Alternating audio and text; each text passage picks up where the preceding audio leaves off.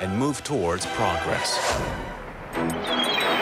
Busan is now the model city of the fourth industrial revolution and smart city infrastructure. Looking ahead to 2030, Busan is prepared to attract the World Expo. 부산은 준비됐습니다. 부산 나 상상 부산 준비하라 부산 준비됐지?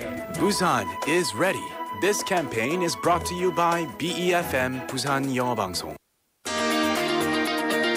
BEFM invites you to the 2023 My Life, My English Speech Festival. 2023 부산 영어 방송 세계 시민 네트워킹 파티에 여러분을 초대합니다. The festival features inspiring stories by the winners of the 2023 My Life, My English, followed by the networking party, where we get to meet all of you. 1부에는 2023 My Life My English 참가자와의 시간이 2부에는 다양한 이벤트와 미션이 가득한 네트워킹 파티가 이어집니다. Besides that, let's gather our support for the final push for the 2030 World Expo in Busan. 깊어가는 가을 부산 바다가 아름답게 펼쳐지는 동백섬 세계의 정상들이 모여서 회의했던 바로 그곳 누리마루 에이펙 하우스에서 세계 시민 여러분을 기다립니다. 자세한 사항은 부산 영어 방송 홈페이지를 참고해 주세요. See you on October the 21st.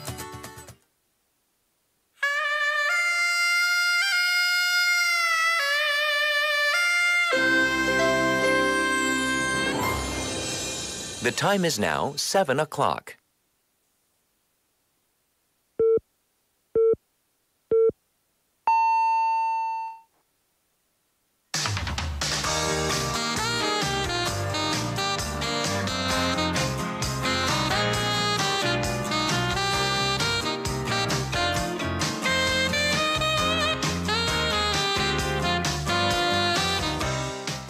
It's a full out, all hands on deck kind of situation for the 2030 Busan World Expo.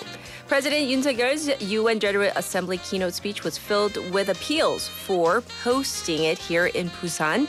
With just uh, a little over two months left until the big vote, all candidate nations are putting in their last minute efforts to really push ahead. The UN General Assembly is one of the major, last major events until the major vote, and therefore a key stage for diplomatic engagements to win votes. And let's hope that the government makes full use of this opportunity. I'm Catherine. This is Morning Wave in Busan on Friday, September 22nd on BEFM, 부산 영어 방송.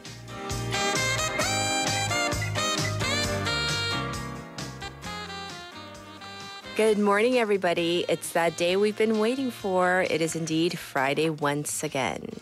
Ah, the UN General Assembly. This has uh, become um, the site, basically, for the president uh, and the Korean government's stage for their last pitch, the push for hosting the World Expo in our lovely city, Busan. And um, we he- heard that during President Yoon Suk-yeol's speech in front of the UN General Assembly yesterday, well, he mentioned the expo. How many times? 14 times in total. Speaking in front of 193 member nations, Yoon emphasized the importance of Busan. He called Busan the last stronghold during the Korean War and the port that propelled the miracle of the Han River from the ruins of the war. Uh, looking to the future, Yoon said that South Korea will carry out its responsibility in the global world by hosting the World Expo in Busan, the gateway connecting Eurasia to the Pacific. Yoon further emphasized the Busan Initiative, where the city shares its experience of growth and development with the rest of the world to repay the assistance Korea received from the international community decades ago. The presidential office explained that the speech was meant to highlight Busan's historical significance and spread the vision for the Busan World Expo. We are D minus 67 days until the BIE vote, and every day will certainly count in getting uh, us across that finish line, the necessary votes. And we're going to go over the expo efforts throughout our program. But in the meantime, here's our topic for today. We want to know about any health trends or fads that you've tried. Whether it's things like um, intermittent fasting, I, I know this is a big trend uh, in Korea, like um, walking barefoot, walking backwards, all the different diets out there. Oh, this is popular in Korea too. Foot bath. Yeah, that's really popular. Let us know all the things that you've tried and they can be related to working out too. It's not just about, you know, dieting or, you know, related to food, of course. 자, 날씨가 점점 추워지면서 건강 관리도 중요해지고 있는데요. 여러분이 시도해 보신 건강 트렌드 어떤 것인지 효과도 있었는지 알려 주세요. 예를 들어서, 음, 요즘에 그, 아, you remember Leon? She told us about the, the 맨발 걷기, walking barefoot. And then uh, what about intermittent fasting in Korean? Uh, 간헐적 단식, 뒤로 걷기. Oh, this is really popular. Uh, 나무에 등치, 등치기? You know, um, how do I say that in English? Like, um, people kind of, I wouldn't say rub, but maybe not slam either. Rubbing against a tree with your back. I know it sounds really weird, but it's a thing. It's a thing here. So uh, tell me all about the health and uh, yes, diet trends, uh, fads that you've tried. You can send in your messages through our BEFM live stream live chat on YouTube. Also, pound 9050, that's going to cost you 101. You can reach me for free on Kakao Talk or our app comment board. Let's look ahead to our morning together. We have Casey coming in for Foreign Press Highlights. Han with Get With It. That's in hour number two. We also have our special interview. We're going to have a special guest he's going to join me in the studio today to talk about the impact of climate change, but from a very different perspective. Um, he apparently led a study that recently unraveled a very long standing kind of mystery surrounding the abrupt disappearance of early humans in Europe over a million years ago. Excuse me. So, we're going to find out how that ties in with climate change. So, that is in hour number two. I'll be back with your today's headlines.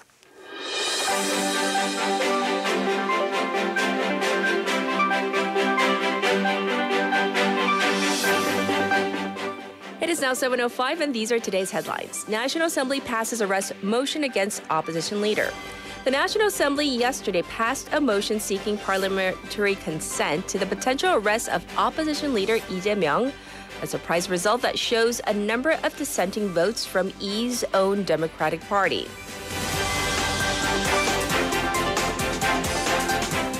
National Assembly passes motion to recommend Prime Minister's dismissal. The National Assembly yesterday passed a motion recommending Prime Minister Han Duck-soo's dismissal on claims of incompetence in his role as a chief of the cabinet.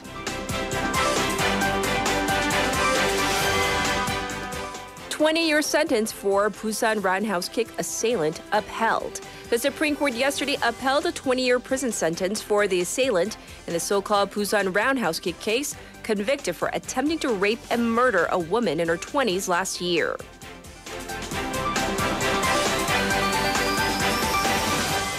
South Korea hammers Thailand to clinch men's football knockout berth. South Korea punched an early ticket to the knockout stage of the men's football tournament at the 19th Asian Games yesterday with a resounding 4 0 victory over Thailand. India stops new visas for Canadians, asks Ottawa to downsize missions as spat worsens. India on Thursday local time suspended new visas for Canadians and asked Ottawa to reduce its diplomatic presence in the country, sharply escalating a spat triggered by Prime Minister Justin Trudeau's accusation linking New Delhi to a Sikh separatist murder. These are today's headlines.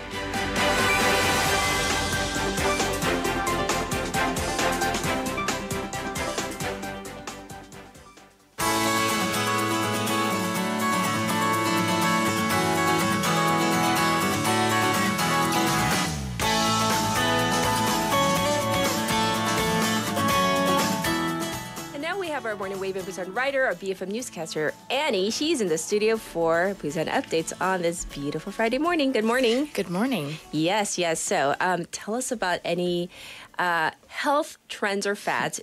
Could be exercise or diet related that mm-hmm. you have tried personally. Uh, for me, I've only really tried inter- intermittent fasting. Uh huh. I, I do a lot of like workouts. I like weight- weightlifting and everything, but I eat too much. All the time, hence why I'm not a bodybuilder now. Uh-huh. so I thought, you know, maybe I can get my eating under control. But I found out that you have that set window of eating. Yeah. Uh-huh. I just eat a lot in that window. Oh, like grab it all in? Yeah, So it wasn't working? I know you're supposed to like kind of watch what you eat during Yes, that window, but uh-huh. it didn't work. Ah, For did me, it didn't work. I see, I see. Well, thanks for uh, letting us know about the things that you've tried. Um, we're going to talk about Chuseok. Uh, Busan City announced a set of measures for the Chuseok holiday. Uh, that's right. So the city yesterday announced its comprehensive Chuseok measures. Uh, it com- encompasses the economy, safety, welfare, traffic, public health, as well as tourism. And first, all eight paid bridges and tunnels will be free. That's between September 28th and October 1st. So you can also keep in mind that you can get cash back on Dongbaekjeon spending for up to 600,000 won. That's up from the uh, usual 300,000. And seafood is also offered at up to 50% discounted price on Dongbekdong. Mm-hmm. Uh, and then for safety, the city is running a 24 hour disaster and safety management system during the holidays. Uh, if you do need to go to the hospital, 36 hospitals, including Donga University Hospital, are operating for 24 hours. And district and county clinics will also run emergency medical services. Yes. And to ease the holiday traffic, uh, the city is operating more buses and subways and also extending the last service uh, time for many of the routes. If you do have family visiting, you can also remember that they can use public schools and public institutions' parking lots for free during that time. And if you're looking for something to do with visiting family, because you can't sit at home all day, Yes. uh, the city is offering discounts on the Visit Busan Pass, as well as the city tour bus and the Danubi train in Taejongdae. And the Haeundae and Hwamyeong Ar- Arboretums uh, will be closed on the day of Chuseok, that's the 29th, but they will be open for the rest of the long weekend. Oh, well, thanks for letting us know ahead of time all of this useful information. Uh, well, let's go to this issue that's been kind of contested for a while now. Busan City decided on the final design for the Daejeo Bridge, right? Yes, so Busan City has decided to pursue the original design for Daejeo Bridge, which would span from uh, span Nakdong River and then connect Gangseo District and the Sasang Industrial Complex. However, there is one slight tweak, and so the bridge will be a flat design, so it'll be lowered from the proposed height of 48 meters down to 24 meters. Oh. And this is basically so that the bridge wouldn't interfere with mig- migrating birds' flights. I see. Uh, the design of the bridge and its environmental impact had been the source of tension, of course, with environmental groups. And the city tried to mediate a compromise, but they weren't able to reach a conclusion. Okay. And the city said that the, deci- the decision, sorry, to go with the original design was the most reasonable one based on traffic demand, safety, as well as environmental issues. But as a way to protect the environment, the city will form large wetlands and also feeding grounds for bird habitats. Mm. And they'll block entry between November, mid November, and the end of February when wild migrating birds live here in Busan. So the city will go through the administrative procedures by the end of this year, breaking ground next year, and then opening the bridge to traffic in 2029. I see. Okay. So once again, that's information regarding the Daejeo Bridge. A- And now let's talk about school zone safety. Apparently, not even half of the school zones have sidewalks. Yes, so Busan City apparently has the lowest sidewalk installation rate out of all seven metropolitan cities. And this is according to the Ministry of Interior and Safety data submitted by the People Power Party lawmaker Kim Yong-pan. Uh, nationally, there are 6,293 elementary schools, but only 3,368 of them, or about 54%, have sidewalks fully installed in school zones. And that figure drops down to 47.6% when we get to here in Busan. Okay. So compared to the 75% over in Gwangju and the 73% up in Seoul, this is extremely low. Ah, we got to ask why? Why so? Well, one reason can be traced to issues executing the budget allocated for this purpose. Uh, according to the Interior Ministry data, nationwide, uh, local governments spent 80% of the budget allocated to improve school zone safety, but then Busan City only spent 55% of the budget. So here, it's not that we don't have the money, we just basically didn't spend it. And the lawmaker said that regional local governments are lacking in pursuing and also carrying out these projects despite their urgency. Oh. Well, I don't know. If we have the budget for it, let's, Let's- spend let's it. it, yeah, yeah. let's get the sidewalks up and going. All right, lastly, there's a concert going on for families with children at City Hall this week. So tell us about this. Right, something to do. Uh, the Children's Culture Space, Deullak Nallak at City Hall, is celebrating its first year anniversary this week. So the city is putting on a concert this Saturday, that's Mm-hmm. September 23rd. Uh, the MC for the concert is Poogie. Oh, gosh. I love Boogie. So cute. Sorry.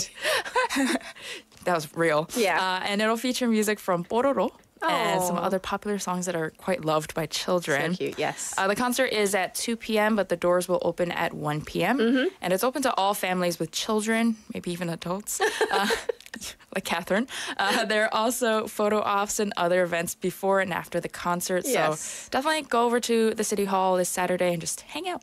Oh, sounds like a lot of fun. Well, thank you for all the local updates. That was Annie for now, everybody. And back to our topic at hand today. We're talking about health trends or fads that you have tried. Whether it's something like, uh, as Annie just mentioned, uh, intermittent fasting, that's very popular, the Mediterranean diet, walking backwards. Um, what do you call that? Walking on those little, those, those, the painful pads, whatever it is. Yep. Pads? Yes. Let us know. Those pressure point pads. Yeah. 아, 날씨가 점점 추워지면서 건강 관리에 대해서 우리가 얘기하고 있는데요. 아, 본인들이 우리 어, 청취자분들이 시도해 본 건강 트렌드 어떤 것인지 효과 있었는지도 알려 주세요. Here is Annie with the traffic and weather.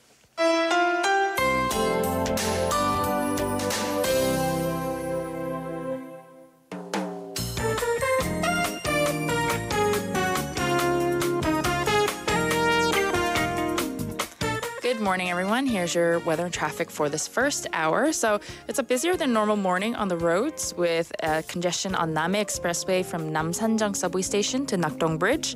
Likewise, quite busy on Seodongno from Kumsa intersection to Busan Bugokdong post office. Also busy on Myeongnunno from Kyode intersection to Dongdae intersection. And there's quite a bit of traffic on Hwangyangdaero from Munjeon intersection to Pumnekgor intersection. So please do drive safe this Friday morning. Switching over to the weather, skies have cleared to a breezy morning. Uh, current temperatures are averaging 19 degrees Celsius, with afternoon highs expected to go up to 27 degrees Celsius today. And skies will remain clear for most of the day, with light, very light cloud coverage in the afternoon. And daily temperature caps are expected to increase, so definitely layer up where you can. Looking ahead to the weekend, Saturday we'll see similar conditions to today with cool morning temperatures and then a sunny afternoon. And Sunday is looking to be a bit cloudier, but we'll be uh, we'll also experience a jump in temperatures in the afternoon, going up to around 27 degrees. That's all for now. See you in the second hour.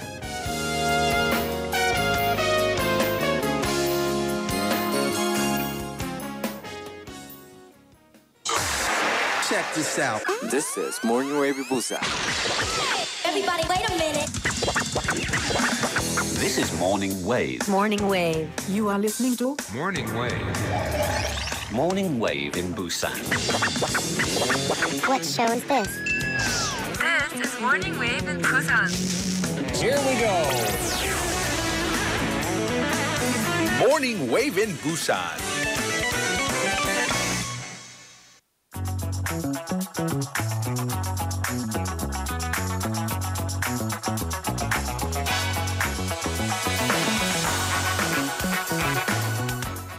It is time for news digest. We have Haley here. Good morning. Do you hear that pep in my voice? And mine. I was Yeah. just thinking, oh, it's Friday.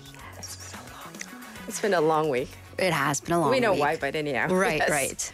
It's been one of those weeks. Yes. Uh, so, tell me about all the health trends, fads that you've tried out. Um, I I tried yoga while Uh-huh. yoga was like in the budding stages, and I was like, just this is way too calm for me. It's way too calming. It's I'm like, we, we're not moving. Oh, we're no, no, We're breathing. No, we're breathing. And then I don't know if you remember, but um, in Korea back in the late '90s, early 2000s, there was like this clapping health trend. Like Really? it's kind Was of not like here then, but show me, show me. it's oh my god, may I? May yes, It's yes, like- yes. Show us. you do this like and That was so a thing? you just yeah so your arms are stretched out and you're basically you're walking in the park and your arms instead of Ah. swinging them up and down you're swinging them like side yeah In front of you in and front then- of you and, and then then, out so kind of to yeah just range of motion. And there was this like clapping doctor and the doctor is in very very heavy air quotes. I don't I don't know about his qualifications it was all over TV and yeah yeah so clapping. Ah, clapping. I, still kind of do it at home. If I'm just standing and watching TV and Are I feel like guilty about um guilty about like just sing being still, I'll just like Yeah, so yeah, not a round of Uh-huh. You're a applause. Yeah, product yeah, of yeah, that yeah. era. So Oh this my is for our gosh. health. Yeah. this I have is- a comment for you. Oh, oh. Does someone know this too? JB님, it's 할매 운동. Oh my- oh. It is though, because this is from like the late '90s. it really is. Okay. Yeah, yeah. Yes. I I would like to have a clever retort, but I'm like, it is. So you know, yeah. This is like IMF times. Like that's yeah, Yeah. yeah. So JB님. Mm. All right.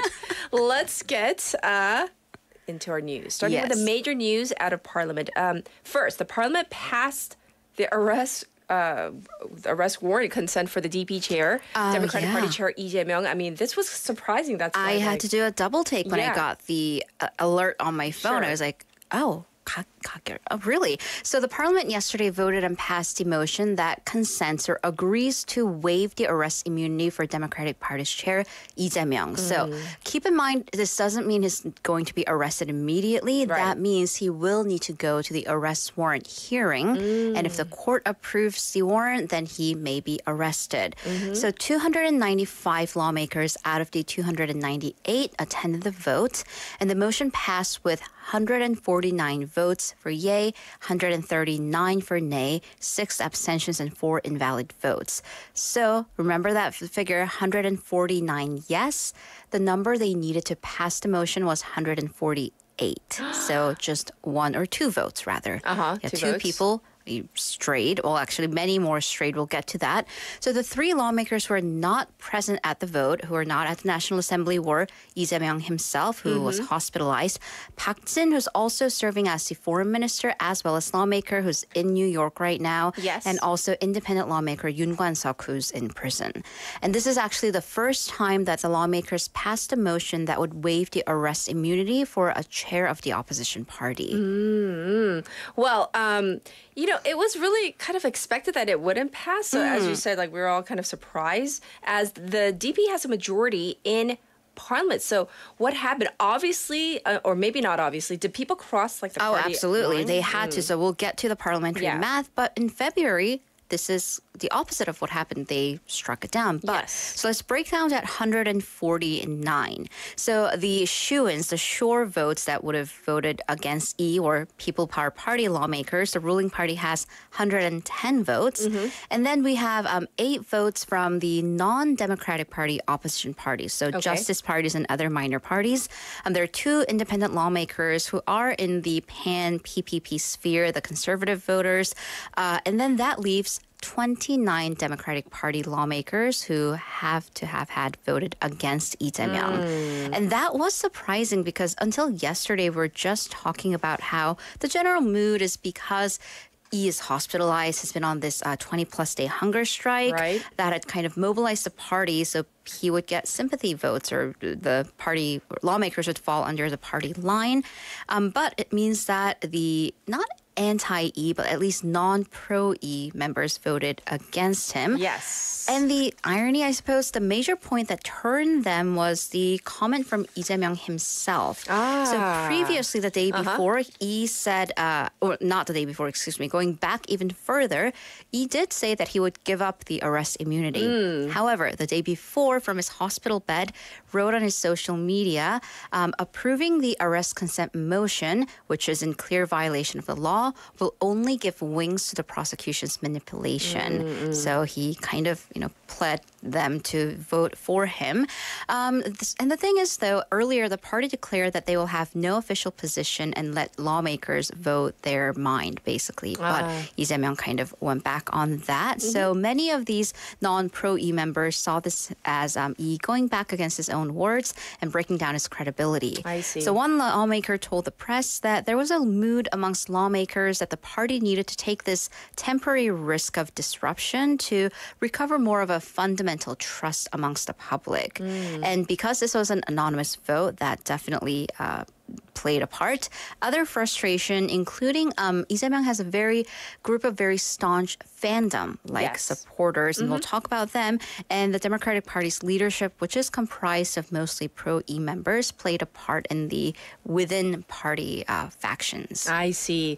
Well, it seems like um, the effects they're already being played out, and uh, so the DP leadership resigned. Right. So this is a floor of the parliamentary leadership. The Democratic Party convened a lawmakers meeting last night after the vote, and the uh, floor leader Park Kwang-on, as well as the other leaders, offered their resignation to take responsibility, and the lawmakers accepted.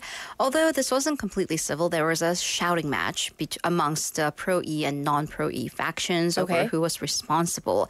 And then outside uh, the parliamentary building was kind of a mayhem because some 12,000 of Lee Jae-myung supporters had been on the island. Um, and then when they heard about the vote, they kind of tried to break into the National, or they enter the National Assembly. They were stopped by the police, and the police wound up having to shut down several of the subway exits to Yeouido Station. And that meant that people who got out of the subways were kind of trying to break out basically of the underground area.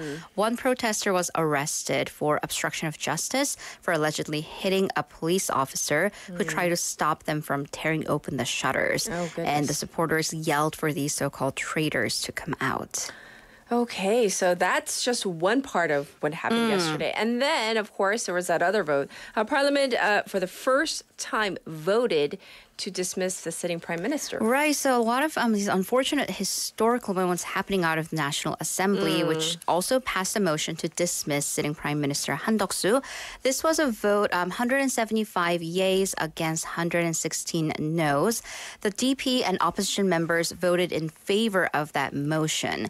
Um, however, given the numbers, that also means some opposition party members voted in favor of um, letting Han, Prime Minister Han stay in his office because once again there are 110 PPP members and four conservative leaning uh, members. So that's at least two people in the either uh, Justice Party, Democratic Party or the pan more liberal leaning parties that voted for the prime minister.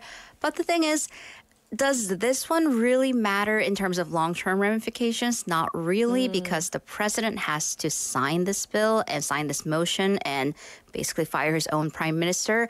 That's not going to happen, judging from the past uh, instances where the parliament did file a motion to dismiss Foreign Minister Park Jin and Interior Minister Lee Sang-min, both of which President Yoon turned down. Indeed, but that's what happened in Parliament yesterday. We're going to move on for now. Let's move on to some additional news. This is regarding figures. Statistics Korea released figures on the number of deaths in Korea last year. Right. So we have seen the highest number of deaths since record taking began some 50 years ago, and that was on account of COVID 19. So remember, this is last year and at the beginning of last year there was that huge omicron wave Yes. and uh, so last year uh, 372939 people died and that's up by 17.4% which marks just the highest sure number of deaths plus the highest margin of increase Yes. main cause once again COVID 19. So last year, 31,280 people died from COVID, and that is up. 522% from the year before. Uh, and the highest number there came in March and April, which makes sense during the peak Omicron wave. Okay. And the half the deaths overall were seniors over the age of 80, accounting for 200,000. Um, so experts said that last year was kind of an anomaly in terms of at least the COVID deaths. However, the figure of um, the higher number, higher fatalities from seniors will increase as we are in that uh, aging society or age society Yes. bracket. Mm. Uh, what about uh, you know other causes, the actual causes of death? though? Right. So this then speaks to the uh, state of health and welfare and even mental health in the country. Cancer was the biggest cause. So for every 100,000 uh, deaths, it accounted for uh, 162.7. And then heart disease was in second place, followed by COVID, pneumonia, and other top 10 causes were cerebrovascular, suicide, Alzheimer's disease, diabetes, uh, fallouts from high blood pressure, and liver disease. And this is the first time and hopefully the last time that COVID 19 was in the top 10. Unfortunately, if we are looking at the younger demographic, teens through people in their 30s, suicide was the top cause. Still, I do have to say that uh, the number of suicide deaths have been down, have been coming down, as has been coming down, but this it is still the highest rate out of all OECD nations. Um, so on average, 35.4 people die from suicide each day. Each day. Every day. Oh my goodness. Uh, well, um, you know, I know, you know, we're working on that. We're trying to tackle that issue as well, but um, it's not going to happen overnight. Of course. Um, yes, thank you for reporting on the numbers there. We're going to move on to some international news. Well, Azerbaijan and Armenia reached a ceasefire because there was this armed clash recently. But um, we need to get some background into this conflict and why this is called um, the powder keg of the USSR. Right. So the ceasefire went into effect yesterday, and talks will take place um, on or are taking place Thursday local time. So Azerbaijan launched a military offensive on the 19th of this month, and the conflict lasted for about two days, and that resulted in multiple deaths and injuries. Um, so for the time being, under the ceasefire, the ethnic Armenian forces in the Nagorno-Karabakh area will be disbanded and completely disarmed. We'll see because this Nagorno Karabakh area is home to one of the world's longest running conflicts. Okay. So this area uh, designated Nagorno Karabakh, it has a majority ethnic Armenian population. But it's controlled by Azerbaijan. And that's always the root of many, many conflicts around the world. Right. So the region's parliament voted to become a part of Armenia once the Soviet Union collapsed in the um, when the Soviet Union collapsed. So the thing is, Azerbaijan sought to sup- oppress the separatist movement, but Armenia, of course, backed it. So that led to ethnic clashes. And um, after they actually declared full independence, then that led to a full scale all out war. So the uh, last major escalation in the conflict took place in 2020 when thousands of people reported killed in the span of just six weeks. Um, the deployment of Russian peacekeepers, it did bring the fighting to a halt at the time, but tensions have been escalating.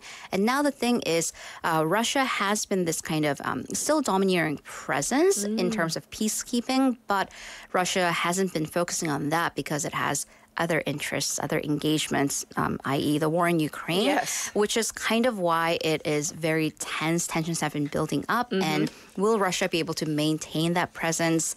We'll see. Mm. Thanks for reporting on all the top news items, and of course, we'll check in with you in our number two. Thank you, Haley. See you in a bit. And with that, let's take our first song break. This is "Gaeul Achim" by IU. 이른 아침 작은 새들 노랫소리 들려오면 언제나 그랬듯 아쉽게 잠을 깬다. 창문 하나 햇살 가득 눈부시게 비춰오고 서늘한 냉기에 재채기 할까 말까. 음 눈 비비며 빼꼼히 창밖을 내다보니 삼삼오 아이들은 제잘되며 학교 가고 산책 갔다 오시는 아버지의 양손에는 효과를 할수 없는 약수가 하나 가득 음 딸각딸각 아침 짓는 어머니의 분주함과 엉금엉금 냉수 찾는 그 아들의 게으름이 깨끗한 아침의 향기와 구수하게 밥 뜸드는 냄새가 잠덜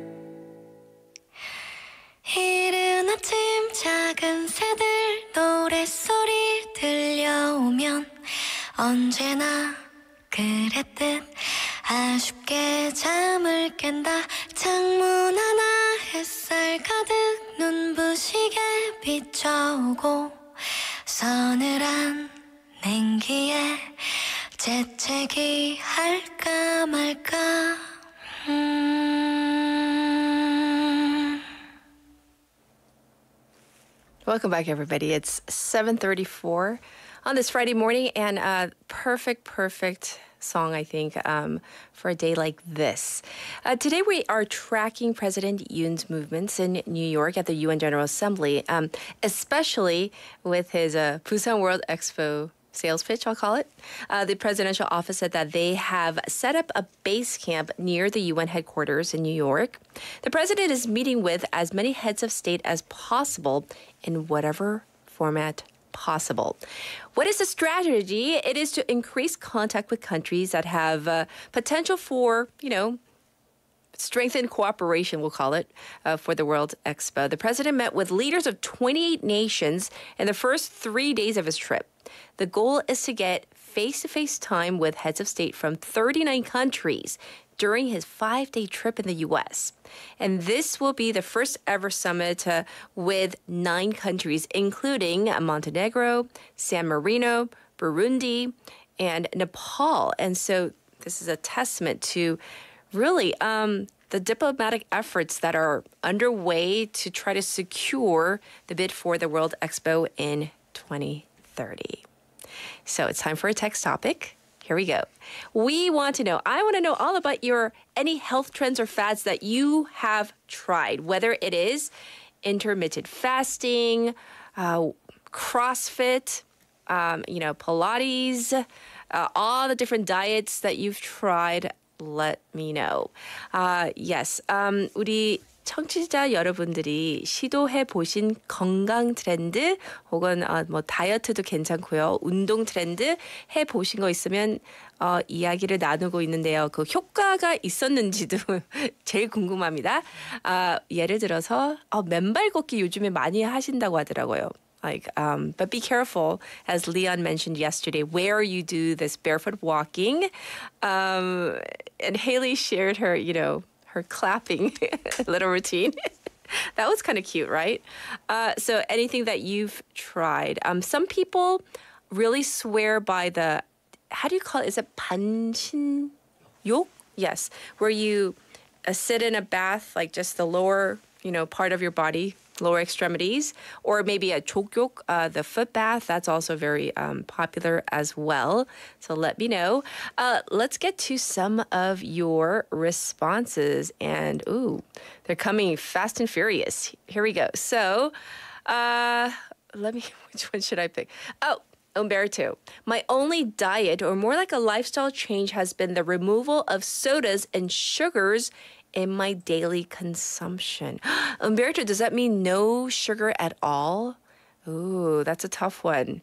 Yes, yes, but um, yeah, soda, as we all know, not good for our health. So that's a good one to try. I personally don't drink that much soda Once in a blue moon, once in a blue moon. Uh, Chu Ji-hwan-nim says, uh, nothing special. Do exercises like running and lifting weights. Oh, I recently uh, got uh, got on a diet for losing weight, so I'm eating some vegetables and fruits. Mm, veggies and fruits are absolutely good as well. 아, 음, 태진클럽님, 지난 어, 2월 매일 아침부터 모닝웨이브는 부산 라디오를 듣습니다. 아, 청취를 위해 부지런해졌어요. That's number one, he says. Number two, 정신이 건강해졌어요. Number three, 자연스럽게 영어 공부가 돼요. Number four, 무엇보다 하루 아침 루틴이 생겨서 고맙습니다. 좋은 점이 100가지가 넘지만 아껴둘게요. Oh my goodness. That's such a that's a really really sincere and sweet message saying since uh, uh, February he's been tuning into Morning Wave every single morning. And yeah, I see his, uh, you know, his, his his handle on here all the time, and he says there are some benefits, um, namely that it's made him, uh, you know, like mentally alert, and that he can kind of naturally also, uh, you know, learn English, and that he gets to start off um, his morning with a, a regular routine, a morning routine. And he says there's like a hundred reasons, but he's going to kind of save some of those for later on. That's a really sweet message. Leslie saying, I do, I do intermittent fasting 16 8. Oh, yeah, that's a common one. I've tried that too. 16 hours fasting and eating between noon and 8. And it works well for me, both weight loss as well as fewer digestion issues. Yes, it's not just for um, losing weight as many people think. Intermittent fasting, it can help people with digestive issues as well. But remember, I'm not a doctor, so I can't verify that. Anyhow, uh, thank you for your messages. I'll read more in a bit. I'll be back with our hot clip.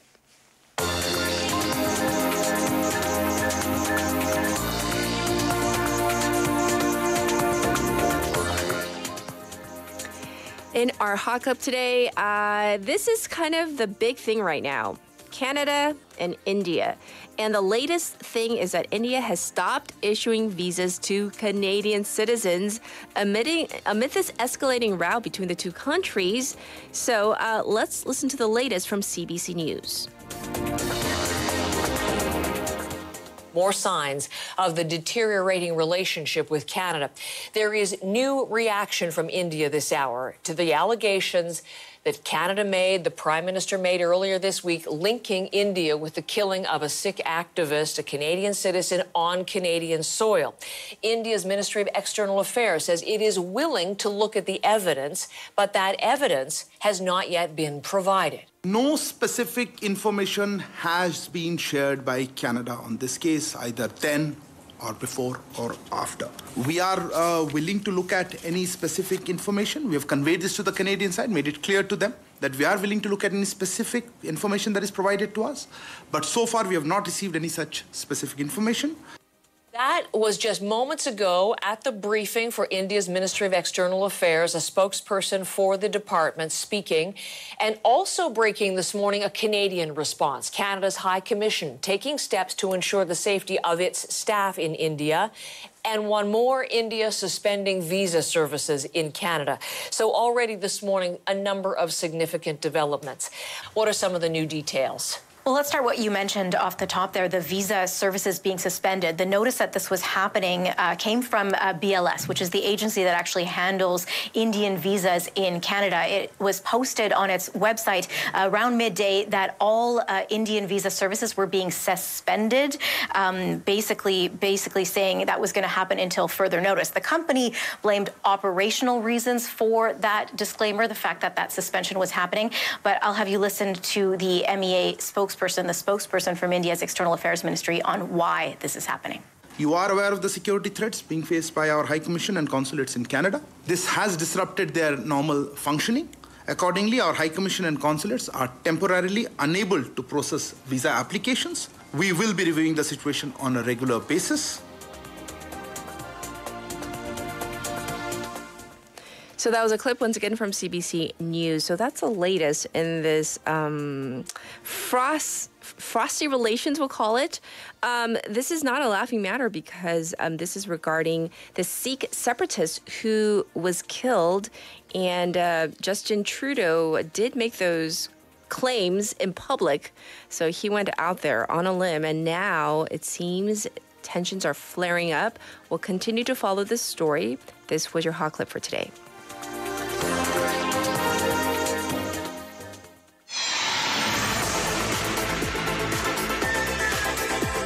Stay tuned. You're listening to Morning Wave in Busan.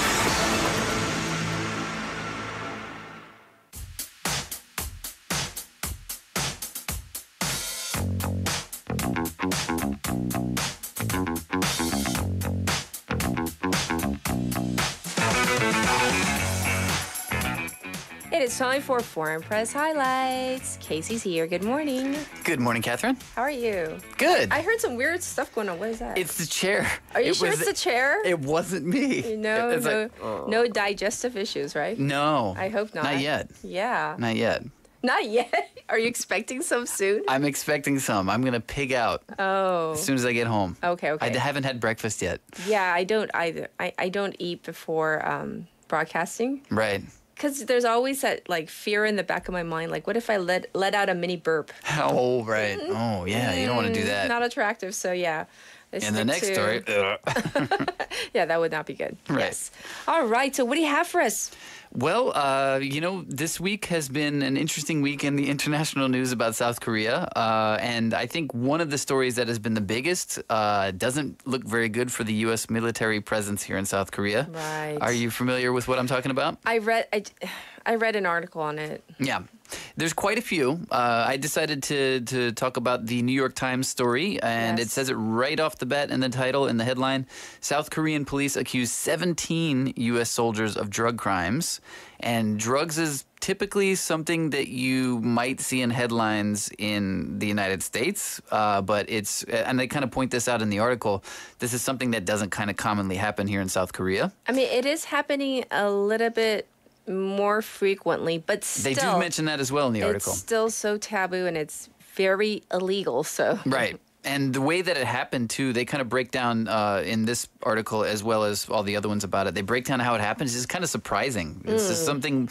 I, I don't know about you, uh, but when I hear like drug related issues in the United States, it's kind of like, oh yeah, n- no no surprise. it's just like okay. right. But when we hear about it here in Korea, we're like, ooh, what Yes. happened? You know, even though, like you said, and they do point this out in the article as well, it is kind of occurring a little bit more than before. Yes. Yeah, it's still just like, wow, really? Uh, Mhm. so, i- in case you're unfamiliar, basically what happened uh, this past Wednesday was that police here accused 17 American soldiers and five other people as well of distributing or using what they call synthetic marijuana. Uh, and that had actually been brought into South Korea using the United States military's postal service. So that's kind of like, whoa. Ah. Uh, so the police uh, in Pyeongtaek, uh, where a, the uh, U.S. Uh, Army base uh, Camp Humphreys is located, Mm-hmm. they said a 24-year-old U.S. soldier had received about 12 ounces of this synthetic marijuana through the military postal service. And uh, it wasn't just like it was out in the open. They actually disguised it as e-cigarette liquid mixed with vaping liquid, which I don't even know the differences between those two things. Um, but what they're talking about here is synthetic marijuana, and that's like can be a variety of different substances that mimic THC, which is the main psychoactive ingredient of marijuana. Right. Uh, and according to the, this is again, the United States is a tricky place. Uh, according to the United States uh, Drug Enforcement Administration, some of those substances are banned in the U.S., but some are not. Yes. So you can actually buy it in the United States in some locations under the names Spice or K2. So Mhm. that's what they're talking about if you hear about those things. Yes. Uh, but in, in South Korea, it's completely illegal. Synthetic Mm. marijuana of any sort is completely illegal here. Here's the interesting thing. Um, they actually had not arrested any of the soldiers by Oh. publication time.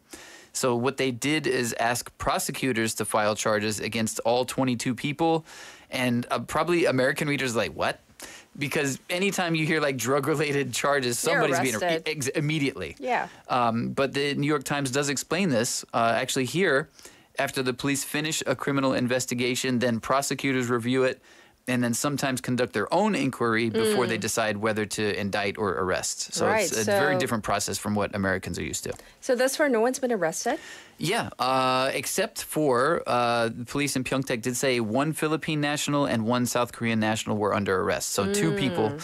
Um, another thing that's very different from the United States, uh, they did not release the names of any of the 22 suspects. Very different because you Yeah. know in, in the states it's like as soon as you're arrested, that's considered public information. Right. They plaster your name in your mugshot. Right. And so your face is everywhere. So Yeah. even if you're a former president, for example, Yeah. your face is going to be seen by everybody. That, yeah. Uh, so they did say seven of the uh, people who were uh, you know, in, under investigation, as it were, uh, including the soldiers, were involved in the sale of the drug. Uh, Twelve were like users, and three acted as go-betweens. So it's kind of like this Mm. network. Okay. Um, and two of the civilians were a soldier's spouse and another soldier's fiance. So there's a lot of people involved. Uh, this is surprising as well. According to senior detective Cha Min Suk, the drug inve- investigation was one of the largest in recent years involving American soldiers. Mm. Um, but they actually didn't seize that much of it. They only seized around 2.7 ounces of the drug. Okay. However, they got some money, uh, Ah. twelve thousand eight hundred and fifty dollars suspected from the sales of the drug. So this it was a very big involved uh, thing. They had to get multiple search warrants to actually get on the military bases as well. I'm curious, how did they even find out about this? That's interesting as well. Uh, they said this month uh, the investigation actually took four months, and they actually got a tip from the United States Army's Criminal Investigation Division. Oh, really? Right. So they Oh. were kind of tipped off by the military. Oh, like there's something happening. Right. Check it out. Exactly. Uh, Mhm. and like I said, like there's different legalities about these substances in the United States and South Korea. So, right. Uh, so even before this uh, all occurred, South Korean authorities did say they had kind of viewed U.S. military bases around South Korea as potential sources of drug trafficking. So. Sure. Uh, yeah, as we talked about, it's much less common in South Korea than the United States, drug usage, drug selling. but they do say Mm, it's on the upswing in the article here, especially among younger people. Mhm. So the government has been promising to crack down, and maybe this might be more common, this kind of investigation. Okay, so uh, we're, we'll leave that story there for now because I Sure. do want to get to our other story. So, um, what's going on in our next story? Th- This is a very big turn, uh, not related to, yeah, I don't think related at all. Okay, okay. Uh, this comes from Euronews, Mm. uh, and it's all about medical tourism. And I, the headline is what got me. So I'm going to share this with you and to see if you have a reaction. Uh, the question is: Are South Korea's cheap Botox clinics a beauty bargain or the next turkey teeth? Turkey teeth? What's that? I, I exactly. This is a whole world. Again, this is Is that Euronews. a, I was going to say, is that a European thing? Because I've. It is. Okay. It- It's a European phenomenon. So when they're talking about Turkey, they're talking about the country Turkey. Ah, okay, okay. I thought they were talking about like I assume gobble so, too. gobble turkey. Me too. Chilmyeonjo turkey. Okay. Because you know, like Korean Thanksgiving's coming up, Right, so that right, means. American On the brain. Okay, yes, sorry. totally. So I had to like dig into what that was. So basically, what happened in Turkey is the country, um, it became like a medical tourism destination for dentistry. And because it became so popular, Uh-huh. a lot of clinics popped up that were not doing what they should be doing. Unnecessary procedures, Uh-huh, people not uh-huh. expecting the results. And then, Yeah. like this, if you search that as a term, you'll see some horrifying pictures. Mm. So, Mm. with that being said, Okay. um, they basically give kind of the background of medical tourism in South Korea, Sure. but also tourism in general. Like, there's so many reasons for people to come here. If you're into K-pop, if you're into spicy street food, you like history, or apparently Insta is full of Hanok pictures these days. Yes, I was not aware of that. Uh-huh. Have you seen? Okay. Oh, yeah. So, uh, but the new trend bringing people to here is Botox. Botox. I, yeah, which uh, I haven't had it done in a while. I don't know if you can tell, but um, they do kind of explain why Botox is so popular in Korea and Uh-huh. why people are coming for that. So, So, you got to explain because Yeah. um, I'm I'm a pretty open person. Uh-huh. I know many many people who have tried it. I've, who yeah, I've like heard. it. Yeah. Uh, I'm scared of the needle on my Me face. too. That's Me- just me oh. though. I've had laser like to get rid of my my California sunspots, desert, lots of Mhm. golfing, right? So, but um, I don't even know what that means. What you just said. Like laser, like Like they actually put a laser on your face. Yeah, yeah. yeah. They, Scary. They, they cover, you know, your eyes and laser. I've done laser procedures, but I haven't gotten the Botox. Not yet. Okay, this is a whole new world for me, so you Okay. can help me through through I'll help because as much as I can. Well, so basically, what they explain is like, in, there's a lot of pressure in South Korea to look good. That's Yes. exactly what they come off the bat saying, Right. especially for young people. Uh-huh. And they do say like, if you're walking through Seoul, you might be intimidated as a tourist because everybody's like dressed nicely and like it looks perfect. And I was Everybody's like, like, oh, really? skinny and good looking. Yeah, and I kind of forget that because uh, I don't know. I maybe I don't think about it, but but they do say like it's really common for plastic surgery in South Korea. They say, it, according to this article, perhaps one in three South Korean women have gone under the knife Mm, at some point, which Mhm. I assume means more than just you know a needle. Um, so they do say because of the high demand here, prices are getting pushed lower and lower. So Ah. Botox could be like as cheap as twenty nine thousand won, which is like around Mm. twenty euros. Is that cheap? I guess. I don't know. I, I wish I knew. I- Like I well- could tell you. Uh, Well, apparently it is. It's, Um, it seems very like reasonable. yeah, right? they they give some testimony from a medical doctor from Uh-huh. Tunisia who actually went to a clinic in Gang, Gangnam recently. Yes. She's 24. She had forehead Botox, which I don't even know what that means. A forehead, like Botox here. Okay. Ouch. Uh, she had under eye fillers and Oh. a micro needle skin booster. I know this is all English, but I don't understand. It's like foreign language. well, here's the part I do understand. Yes. In Europe, that would cost around a thousand pounds or more.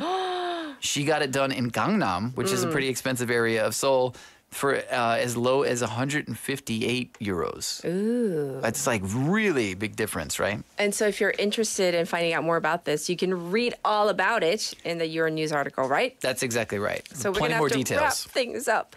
However, the good news is you'll be back next Friday. That's true. I will, and I, I look forward to that. I hope you have a wonderful weekend in the meantime. You too. Thank you, Casey.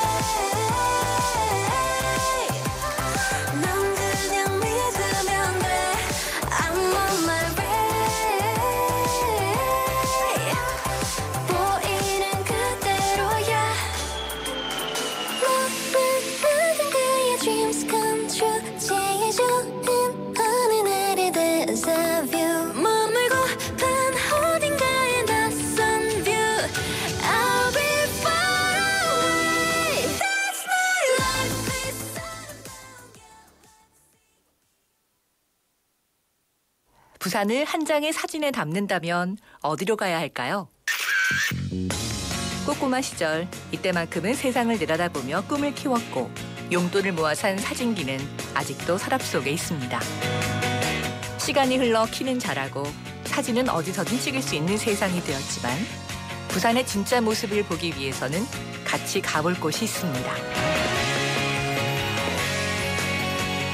광복동에서 부산을 내려다보며 우리와 함께 해온 그곳. 새롭게 불을 밝힌 다이아몬드 타워와 함께 용두산 공원이 우리를 다시 찾아왔습니다. 북한과 남항, 멀리 남구와 해운대까지 부산을 한눈에 담을 수 있는 그곳.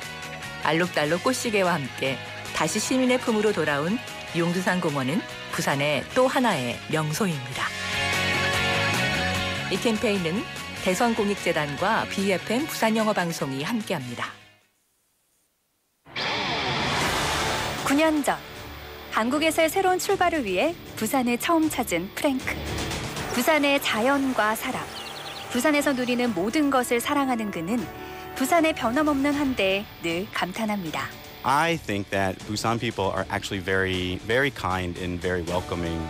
If I seemed a little lost, there was always someone that was there to ask me if I needed help. They're more seriously friendly than it's very serious. I very seriously want to help you.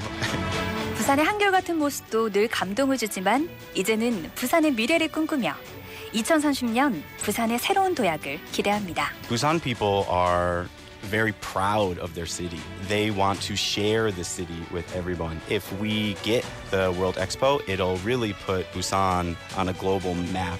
세계 박람회가 어울리는 도시, 미래를 향한 힘찬 도약. 부산에서 출발한 파도는 이미 세계를 향해 뻗어 나가고 있습니다. 2030 부산 세계 박람회. 부산이 시작하고 대한민국이 함께 이뤄갑니다. 이 캠페인은 지역과 함께하는 든든한 동반자 BNK 부산은행과 함께합니다.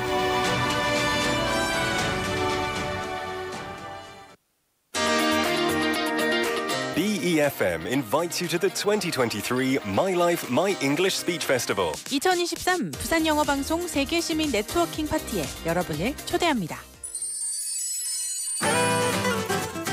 The festival features inspiring stories by the winners of the 2023 My Life, My English, followed by the networking party, where we get to meet all of you. 1부에는 2023 My Life My English 참가자와의 시간이 2부에는 다양한 이벤트와 미션이 가득한 네트워킹 파티가 이어집니다. Besides that, let's gather our support for the final push for the 2030 World Expo in Busan. 깊어가는 가을 부산 바다가 아름답게 펼쳐지는 동백섬 세계의 정상들이 모여서 회의했던 바로 그곳 누리마루 에이펙 하우스에서 세계 시민 여러분을 기다립니다. 자세한 사항은 부산 영어 방송 홈페이지를 참고해 주세요. See you on October the 21st. 친환경에 필요한 거? 내 몸. 한 정거장 거리 정도는 걷기. 엘리베이터 대신 계단. 플러그 뽑으면서 스쿼트까지.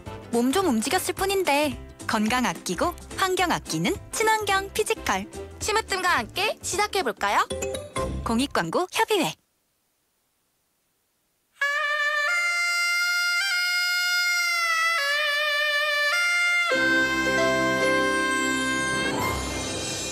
The time is now 8 o'clock.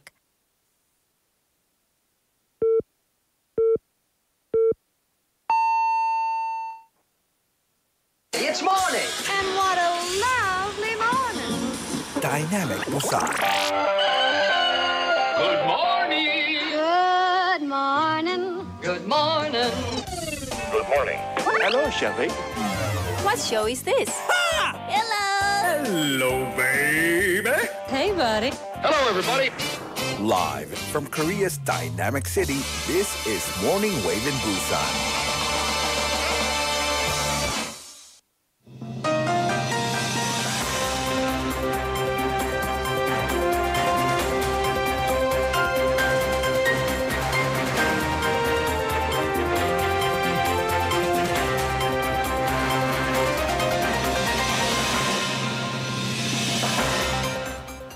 Is now 8 o'clock, and these are your news highlights.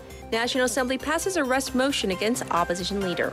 The National Assembly yesterday passed a motion seeking parliamentary consent to the potential arrest of opposition leader Lee Jae-myung, a surprise result that shows a number of dissenting votes from Lee's own Democratic Party, or DP. With the motion's passage in a 149 to 136 vote, a court hearing will be held to determine whether to grant the prosecution's request for an arrest warrant for Yi on corruption charges in connection with a land development project and a company's illegal cash remittance to North Korea. But it is unclear whether Yi will show up for the hearing considering he has been on a hunger strike since August 31st to protest President Yoon Suk-yeol's handling of state affairs and was hospitalized earlier this week due to deteriorating health.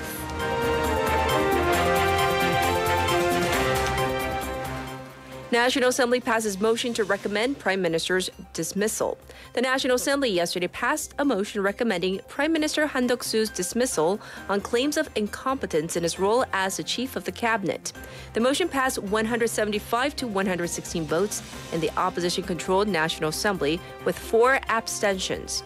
While President Yoon is highly likely to disregard the motion, it marks the first time that a dismissal recommendation against a prime minister has passed in parliament.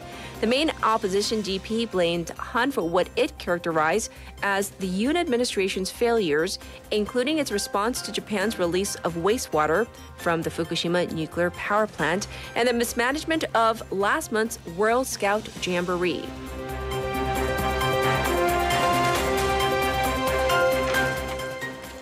20 year sentence for Busan roundhouse kick assailant upheld. The Supreme Court yesterday upheld a 20 year prison sentence for the assailant in the so called Busan roundhouse kick case, convicted for attempting to rape and murder a woman in her 20s last year. The top court also upheld an order to disclose the personal information of the 31 year old assailant on public communications networks for 10 years.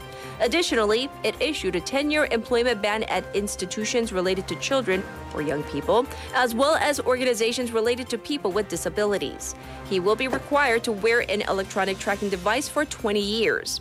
Ye's victim told reporters after the Supreme Court ruling that her assailant didn't admit to his serious crime until the end, sharing her fears that when he's released from prison, he would still be around 50.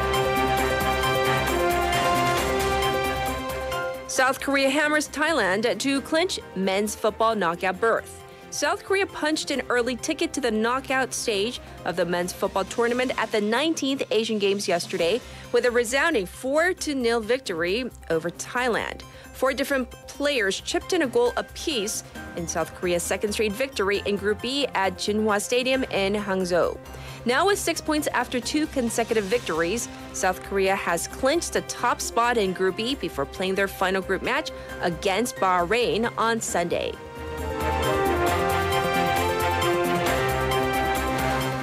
India stops new visas for Canadians and asks Ottawa to downsize missions as spat worsens. India on Thursday local time suspended new visas for Canadians and asked Ottawa to reduce its diplomatic presence in the country, sharply escalating a spat triggered by Prime Minister Justin Trudeau's accusations linking New Delhi to a Sikh separatist murder. The Indian Foreign Ministry said Canada had not shared any specific information in connection with the allegations Trudeau made. A blanket suspension of new visas for India by India for a Western country is unheard of and marks the lowest of India Canada relations. The announcement came hours after Canada's High Commission in India said it would temporarily adjust staff presence in the country after some diplomats received threats on social media. And these were your news headlines.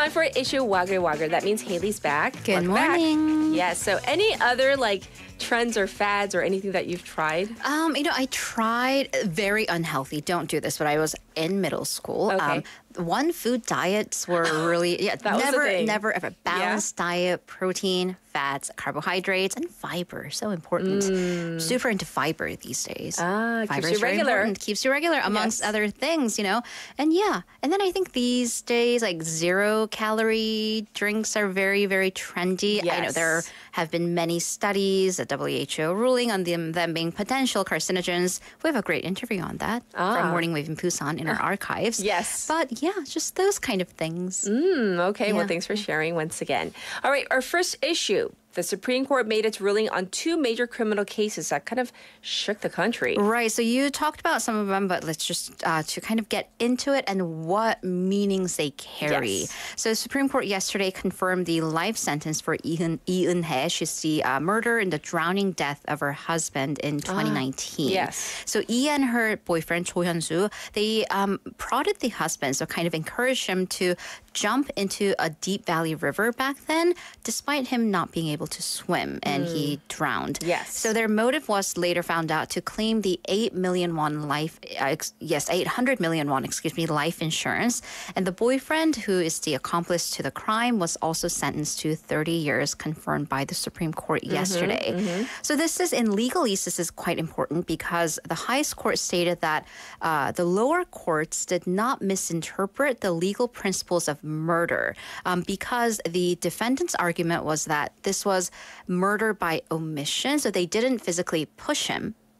Right, because his direct cause of death was drowning, but because they did not physically push him, they are not responsible, at least legally, for directly murdering someone. Mm. However, the court ruled that murder by omission is still murder by commission. So that was a very um, important ruling there.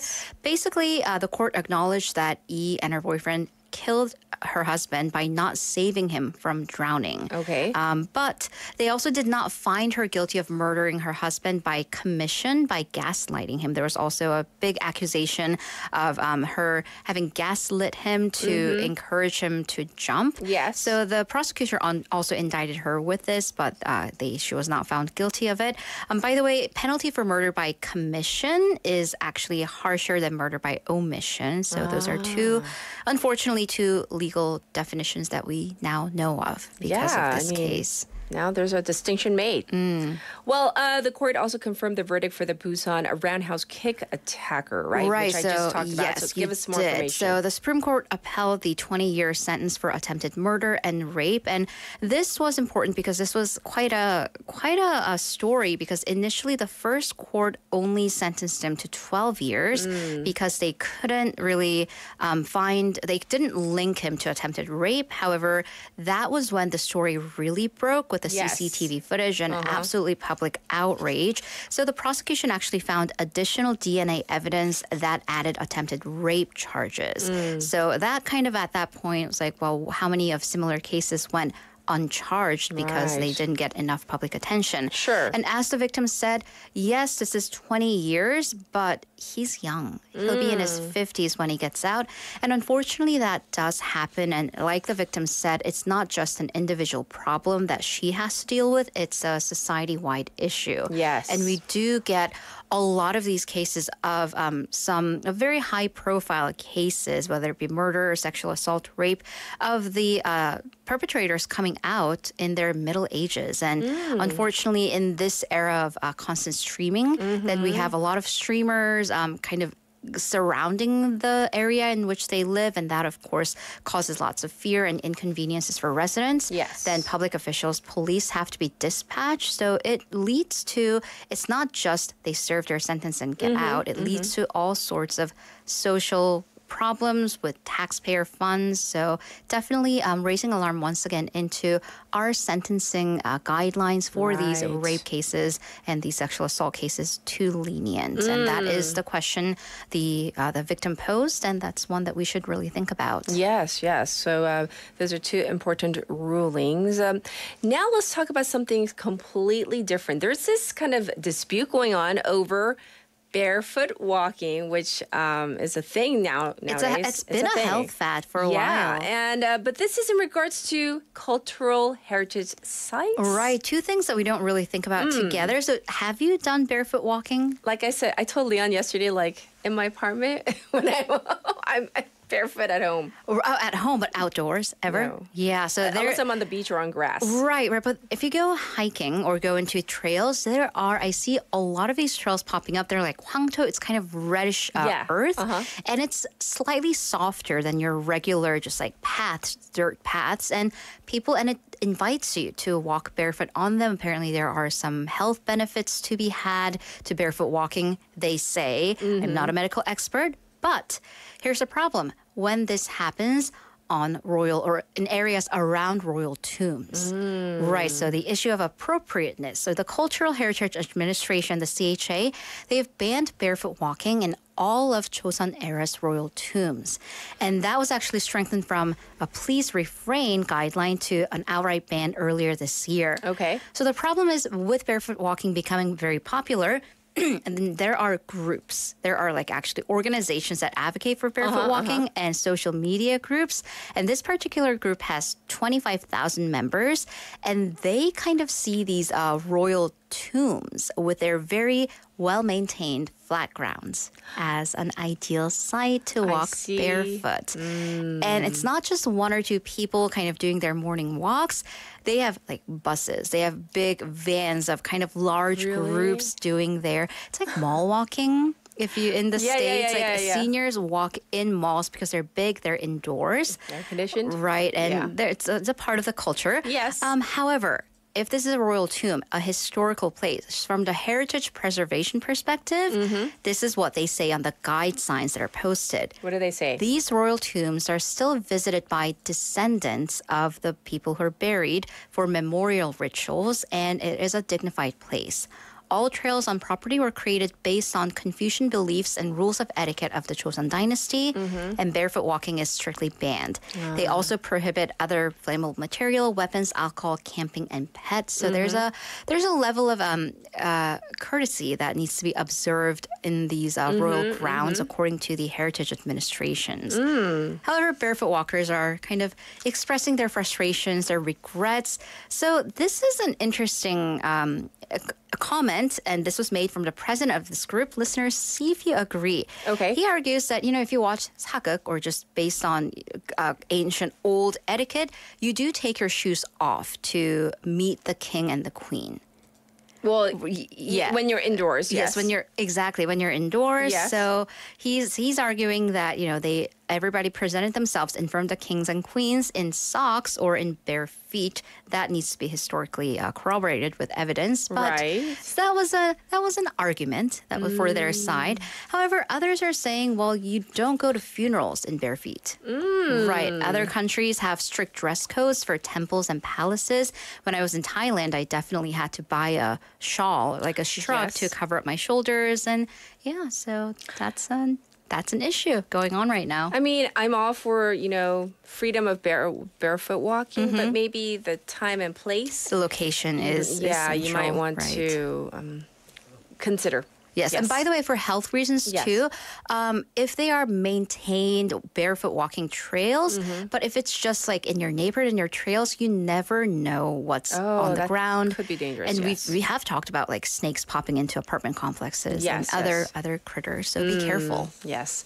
All right, next up. A family has sued Google after its map feature allegedly directed a father off of a bridge. Oh, goodness. Very tragic, very terrifying um, story. Uh, the family of a North Cre- uh, Carolina man is suing Google for negligence because he died from crashing into a creek uh, from a collapsed bridge. And that was because Google Maps directed him there, allegedly. That's Oh. according to the AP. So back in September of 2022, uh, state troopers found Mr. Philip Paxson drowned in his overturned pickup truck.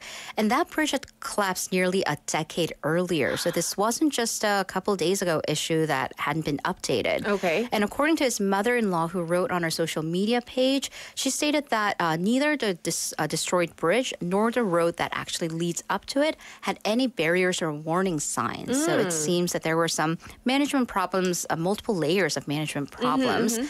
And also, the family's lawsuit names a number of private property management companies who they see as responsible for the land where the crash happened.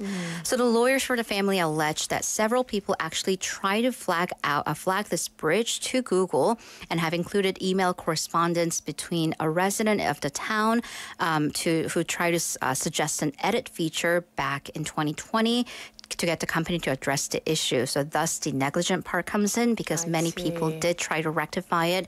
However, according to the attorneys, Google never responded to the suggestions. Ah, that's such a tragic story, though. Mm. All right, lastly, we're going to end it on a, a heartwarming story uh, about a large sum of money lost and found. Right. Mm. So, um, according to Seoul Metro, two of their janitorial staff members found a bag, a purse with 5.8 million won inside a bathroom stall at Gupabal station, and that was while they were cleaning. So immediately they took it to the station's office to report it, and the uh, employee at the office made a police report. The police, fortunately, because it was someone's purse, there was Uh-huh. a hospital card Oh. with the bag owner's name Uh-huh. and um, hospital card and phone number. It belonged to an elderly woman, an elderly couple, Uh-huh. and they that was so nice of them. They wanted to give them a 10% finder's fee, which would be which they offered uh, 50만 원, 500,000 Uh-huh, won, but the workers refused. Well, number one, legally they're public officials, so they Oh. cannot accept monetary um, Compensation. compensation. Yeah. And number two, they just, and most importantly, they just said they're just thankful that the owners were found and no one had to be, you know, frustrated. No one Mhm, mhm. lost large sums of money. However, the couple just, they left the envelope and just left. I know. yeah, And like they, they, oh, yeah. I've, you, you've, you've, you've received money from uncles, yes. grandparents who just They're like, "No, shove no, it in no, your no." purse. Yeah. So it was that, and then they refused to answer any calls from the Metro Aw. office. So that was well intended. The employees absolutely did the right thing. They consulted the audit board of the Mhm. uh, Metro, and actually the audit board deemed that in cases where it's impossible to return the money, then you donate it, you give it back to your community, which is Mm. exactly what they did. They kind of crossed the street to the Children's Welfare Center and donated it. So Aw, I great mean, story. Great story to end it on. Just all the people involved. So Mm. thanks for covering that one. So we can end it on a happy note on this Friday. Thank you, Haley. Thank you. Have a great weekend. And then, of course, we'll check in with her on Monday. All right, here is Annie with our updated traffic and weather.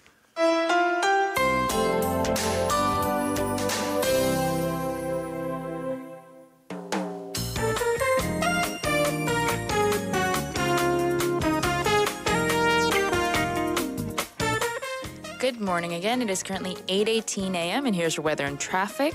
So the roads are looking busier than normal actually, and there's a bit of congestion on Seodongno from Kumsa intersection to Busan Bugokdong post office. Likewise, Saesangno from Puam intersection to Seomyeon intersection is quite busy. There's also congestion on Gayadaero from Dongeui University entrance intersection to Jurye intersection. And likewise, Suyongno is very backed up from Suyong intersection to KBS junction. So please do drive safe in all the areas. Uh, jumping over to the weather, it has gotten sunnier actually, with current temperatures averaging 20 degrees Celsius. Uh, afternoon highs are expected to go up to 27 degrees Celsius today, and skies will remain sunny until clouds roll in later this afternoon. It has changed a bit, it will be cloudier. Uh, daily temperature gaps are expected to increase, so definitely light layers are recommended for today. And looking ahead to the weekend briefly, Saturday we'll see similar conditions to today with cool morning temperatures and a sunny afternoon. And then Sunday is looking to be a bit cloudier with the big daily temperature gaps as well. That's all for now. Let's hand it back to Catherine.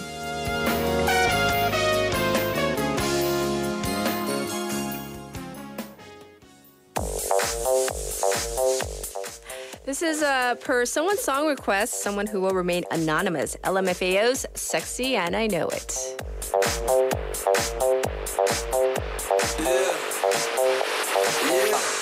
I walk on by, girls be looking like Debbie Fly. I pimp to the beat, walking down the street in my new freak, yeah. This is how I roll, animal print pants out control. It's Red Bull with the big ass bra, and like Bruce Lee, I got the clout, yeah. Girl, look at that body. Girl, look at that body. Girl, look at that body. I, I, I work out. Girl, look at that body.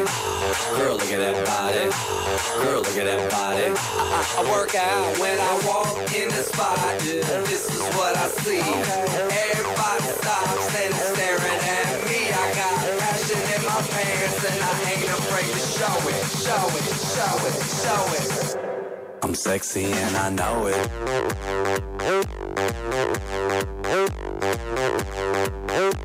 I'm sexy and I know it.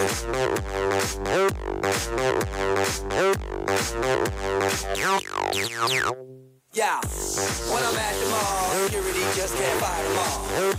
And when I'm at the beach, I'm in a speedo trying to tan my cheeks. What? This is how I roll. Come on, ladies, it's time to go. We headed to the bar, baby, don't be nervous. No shoes, no shirt, and I still get service. Watch. Girl, look at that body. Girl, look at that body. Girl, look at that body. I, I work out. Girl, look at that body. Girl, look at that body. Girl, look at that body. I, I work out when I walk in the spot. This is what I see. Everybody stops and is staring at me. I got passion in my pants and I ain't afraid to show it, show it, show it, show it. I'm sexy and I know it.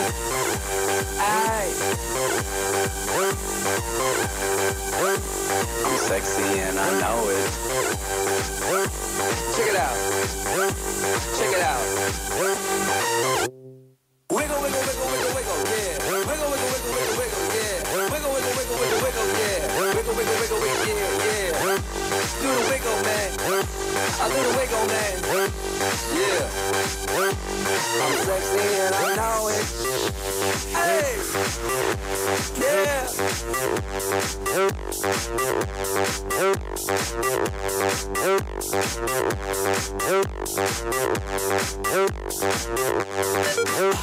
Girl, look at that body. Girl, look at that body. Girl, look at that body. I, work out. Girl, look at that body. Girl, look at that body. I work out.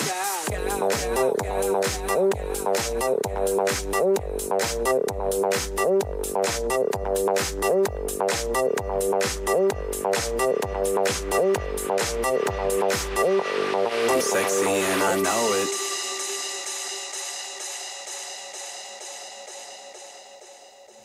All right, welcome back. We had a message from Mr. Uh, Park Hyun Nim who says, "What a song! Never thought I would listen to this song in the morning."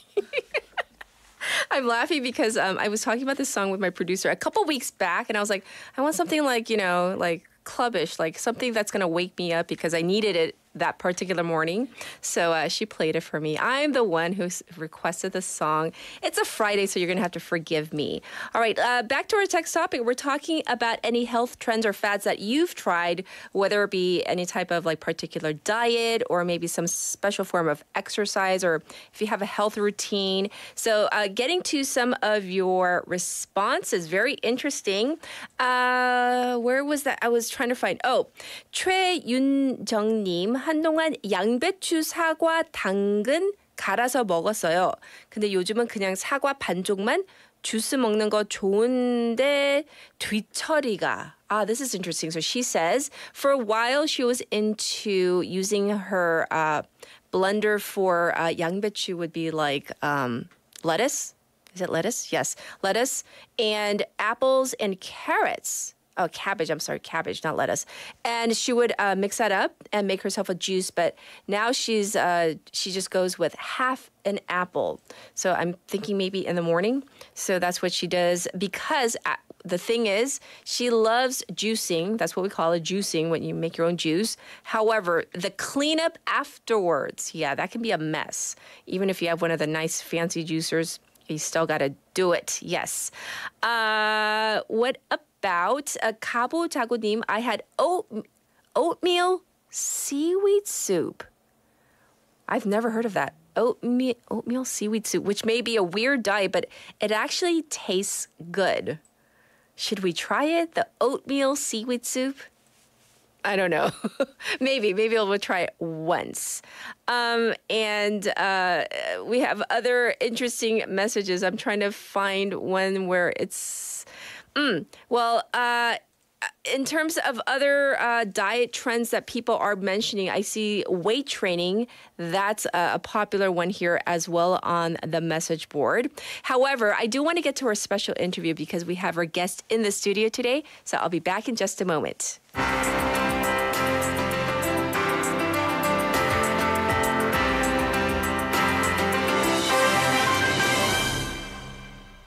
It's time for a special interview, and today we are going to be talking about climate change from uh, maybe a different angle than you've normally, you know, heard. Uh, so today we have in the studio with us uh, Axel Timmermann, who is a distinguished professor at uh, Pusan National University (PNU) and the director at the IBS Center for Climate Physics. So, uh, from what I understand, he led a study that has recently unraveled a, a very long-standing mystery surrounding the abrupt disappearance of hu- early humans in Europe. Uh, that was over a million years ago. So let's get into that. He's in the studio with us. Welcome, Professor. Great to have you uh, on the airwaves. Good morning, Catherine. Oh, yes, yes. So, first of all, maybe we can get a, a brief intro because I'm sure um, our listeners are very much interested in who you are, where you're from, and just the basics, please. Sure. I'm Yes. uh, Axel Timmermann uh, from Germany originally, but I have lived uh, abroad for a very long time. Uh, and uh, in 2017, I moved uh, to Busan uh, to launch the IBS Center for Climate Physics. And it's uh, Korea's largest climate research uh, center right now. We are uh, Uh, having right now five, 56 uh, employees. Uh, most of them uh, researchers. Uh, we have 13 PhD students, uh, and uh, we uh, run one of the largest uh, computers in Korea uh, for our climate model simulations. Um, and our center is dedicated towards understanding past, present, and future climate change. We are also interested in sea level rise, the stability of the ice sheets, the Antarctic ice sheet in particular, and we are also looking at the impact of uh, climate change, past, present, and future, on life on our planet. And this is also the main subject of this study that you're mentioning. Yes, yes. Oh my goodness. Thanks for if thoroughly explaining what you do uh, at the IBS Center. Um, so, if we can delve into what your research team uh, recently found regarding the disappearance of early humans in Europe, what uh, 1.12 million years ago. Um, First of all, maybe you can explain, uh, you know, what this was about, why you were looking into it, and maybe um, what the significant findings were. Yeah. So, just in general, I'm very much interested in understanding how past climate change influenced our human evolution. And uh, this year we had already three uh, major papers in the journal uh, Science uh, from our team. And the first uh, publication uh, focuses on the selection uh, and which uh, environmental conditions human preferred, humans preferred um, about 100,000, 200,000 years ago. Hmm. Um, the second study focuses on the interbreeding between different human species. And this uh, third study uh, that you mentioned uh, focuses on an extinction event that occurred 1.12 million years ago. And what we found is that uh, it deals with an early Homo species uh, called Homo erectus. Uh, and this species uh, came out of Africa maybe around 1.9 million years ago and eventually spread uh, towards you. Europe um, and also settled in uh, Spain and so on. And this uh, species seemed to uh, be quite happy uh, with the environment until 1.12 million years ago when we see they suddenly disappeared. Ah. And uh, so we wanted to know uh, why. And uh, the next group that came afterwards was much more advanced, uh, also culturally much more advanced. Mm. And they came 200,000 years after this first group uh, disappeared. And we wanted to know what really happened happened.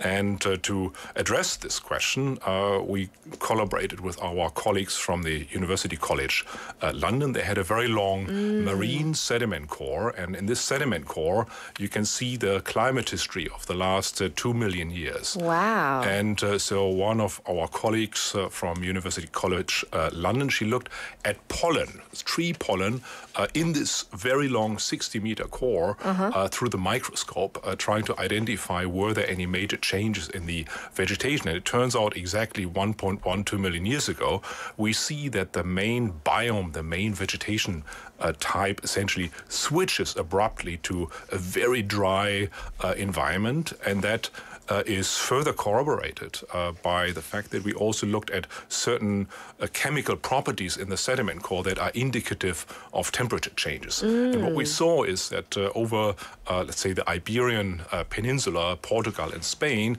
uh, the temperatures dropped dramatically within a very short amount of time uh, by about 7 to 10 degrees Celsius. And this is, of course, Mm. an enormous uh, impact Yes. uh, on the environment. And uh, the very early Homo erectus groups were not really adapted to these cold conditions. Yes. And uh, so in our uh, center, we then looked at climate model simulations uh, that focus on this uh, abrupt uh, cooling event and the Mm. impact it may have had on life, and in particular on vegetation and early humans. And with, what we found is that essentially this climate condition uh, made life uh, very miserable. Mm.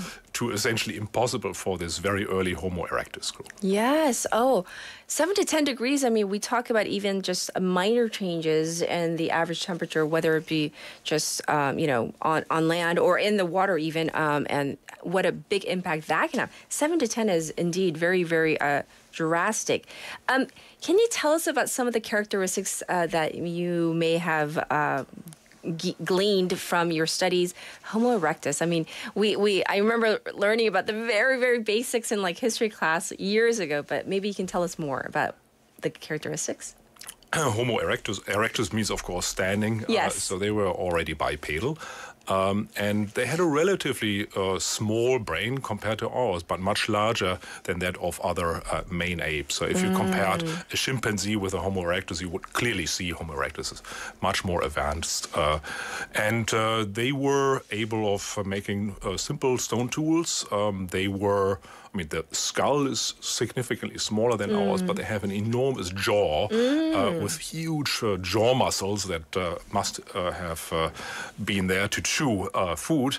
Uh, and and it's also uh, very large teeth, and this is also indicative of the fact that they may not have uh, had the capability to uh, control fire or make fire.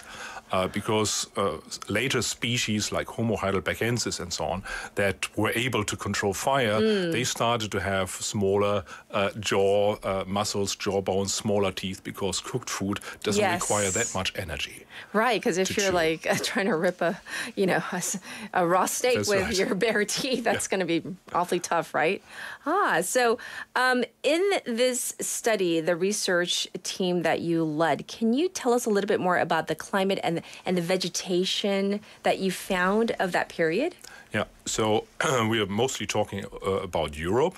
And uh, the European climate, as I mentioned, uh, cooled dramatically, and large parts of the Mediterranean be- became essentially steppe, uh, which is a very dry vegetation type. Um, and winter temperatures dropped down to way below freezing, even in the Mm. Mediterranean region, uh, Spain and Italy.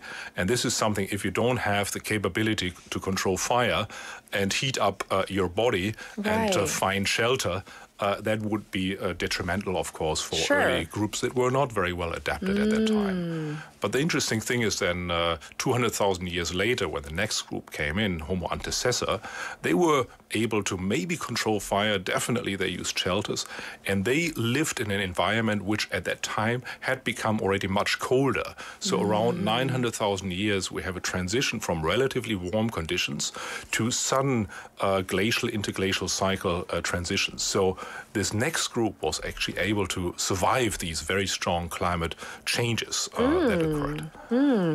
So, um, what is the cause? What, what were the causes of these these kind of huge fluctuations um, in terms of climate change? We're talking about over the span of hundreds of thousands of years, if not longer. Um, was it the the glacial, you know, effects, or what what was going on? So there are several timescales to consider. Yes. First of all, there is a very long gradual uh, cooling trend all the way to 20,000 years ago. And of course, uh, currently uh, we are interrupting this cooling trend and creating Yes. anthropogenic greenhouse warming, which is Mm. changing everything. Yes. Uh, but uh, on top of this gradual cooling trend, we also have these glacial uh, fluctuations, glacial interglacial cycles with timescales of about 80 to 120,000 years. Mm. Um, and this event that really, uh, as we think, uh, caused the extinction of early uh, Homo erectus in Europe uh, is a, an event which only lasted for 4,000 years.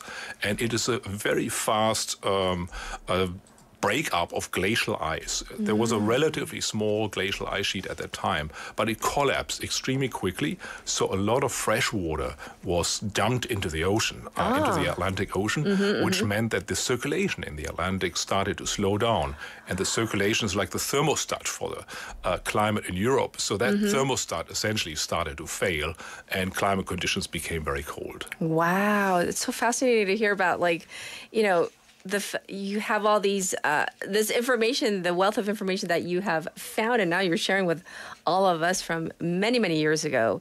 Um, so, Professor, what are some of the potential consequences uh, stemming from these climate related? changes uh, you know it- when we hear about like melting ice and rising sea levels even today as as you already mentioned how you know the average temperature is actually going up now um, what are the implications of this So I think one lesson we learned from this uh, uh, study of early uh, humans is uh, that adaptation is the key uh, to surviving climatic stress.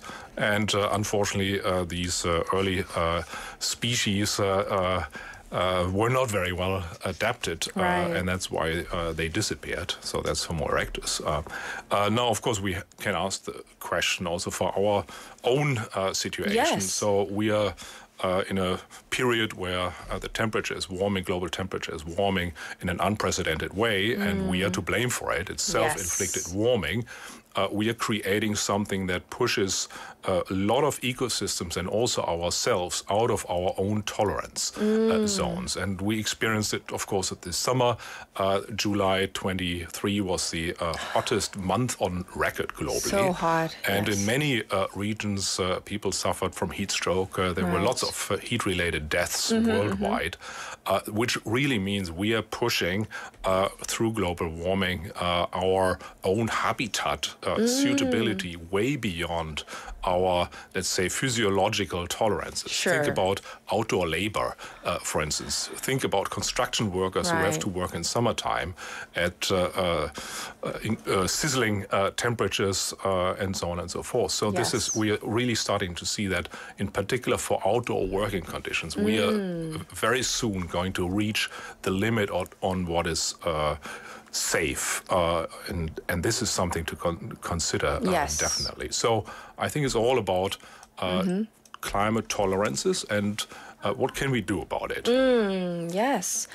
Uh, so, as we um, get to the end of our interview, can you give us any, I don't know, uh, strategies maybe or any initiatives uh, that you know about that maybe you and your team have looked into into uh, addressing the challenges that climate change has brought that you mentioned. We have made things worse. We are the ones that are heating up earth so to speak. So what can be done? I mean uh, we we hear about the you know the oh if the sea sea uh, water temperature goes up by this much then you know all the doom and gloom.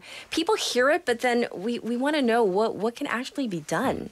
So I think first we need to say there is not only global warming, uh, but also as a result of global warming, we have sea level rise. Yes. Uh, so that's going to be relevant also for Korea because there is so much coastline here. yes Um, then we also have ocean acidification, also relevant. Um, so the ocean takes up CO2 from the atmosphere, and that causes the chemical reactions, which make makes the ocean more acidic. Um, that affects uh, uh, plankton in the ocean and uh, fish eventually down the food chain. Yes. Uh, and we have another effect, which is called ocean hypercapnia. Uh, when the ocean CO2 gets too high, fish start to get dizzy. Uh, think about uh, us being locked into this room for uh, the next uh, 24 hours. CO2 would go up, and we would all start to uh, feel dizzy. So this is another uh, effect that's not very well understood.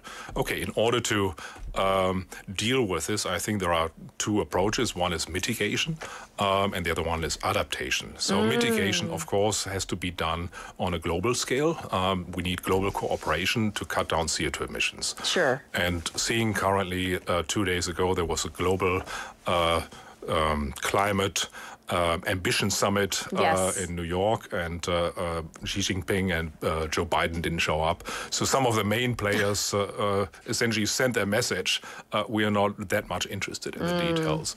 And there are also talks and rumors that uh, even the UK Prime Minister tries to.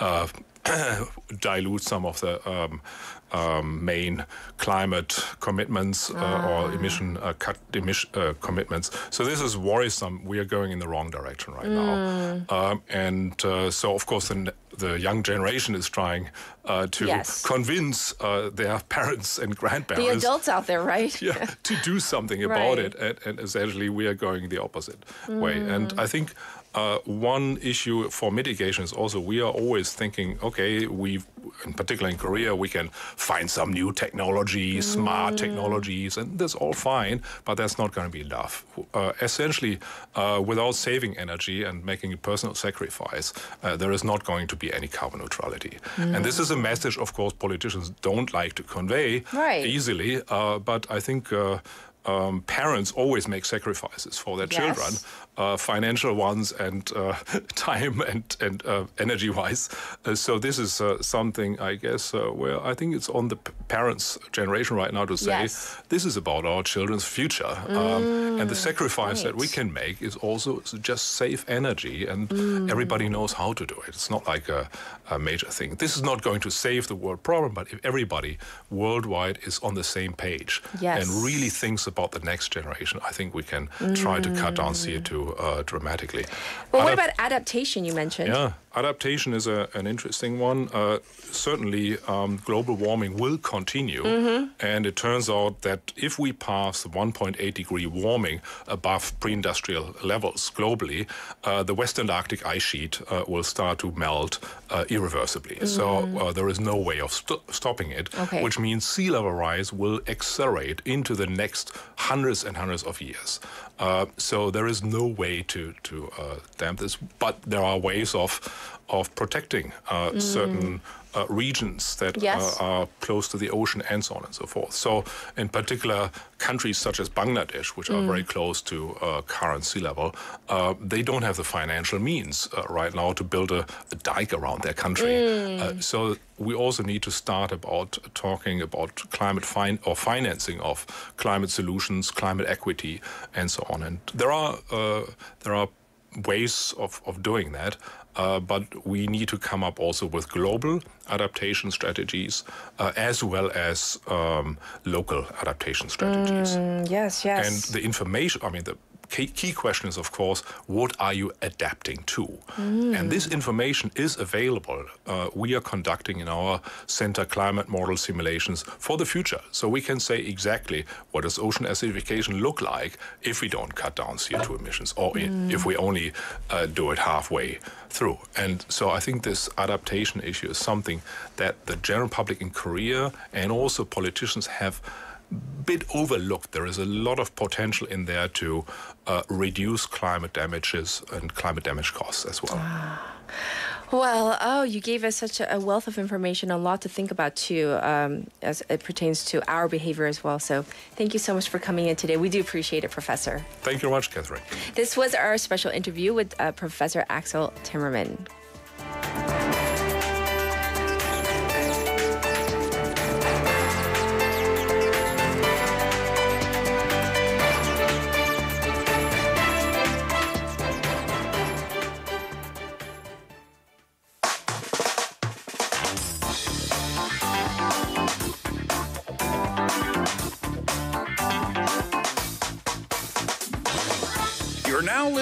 To the world's most reliable morning show, Morning Wave in Busan with Catherine. Text in to BEFM pounder sharp 9050 for 101. You can also reach us for free through our YouTube live stream or on Kakao Talk. Begin your morning with Catherine, and don't forget to reboot your day after lunch. Stay tuned for Steve Hatherley Reboot every day from 2 to 4 p.m.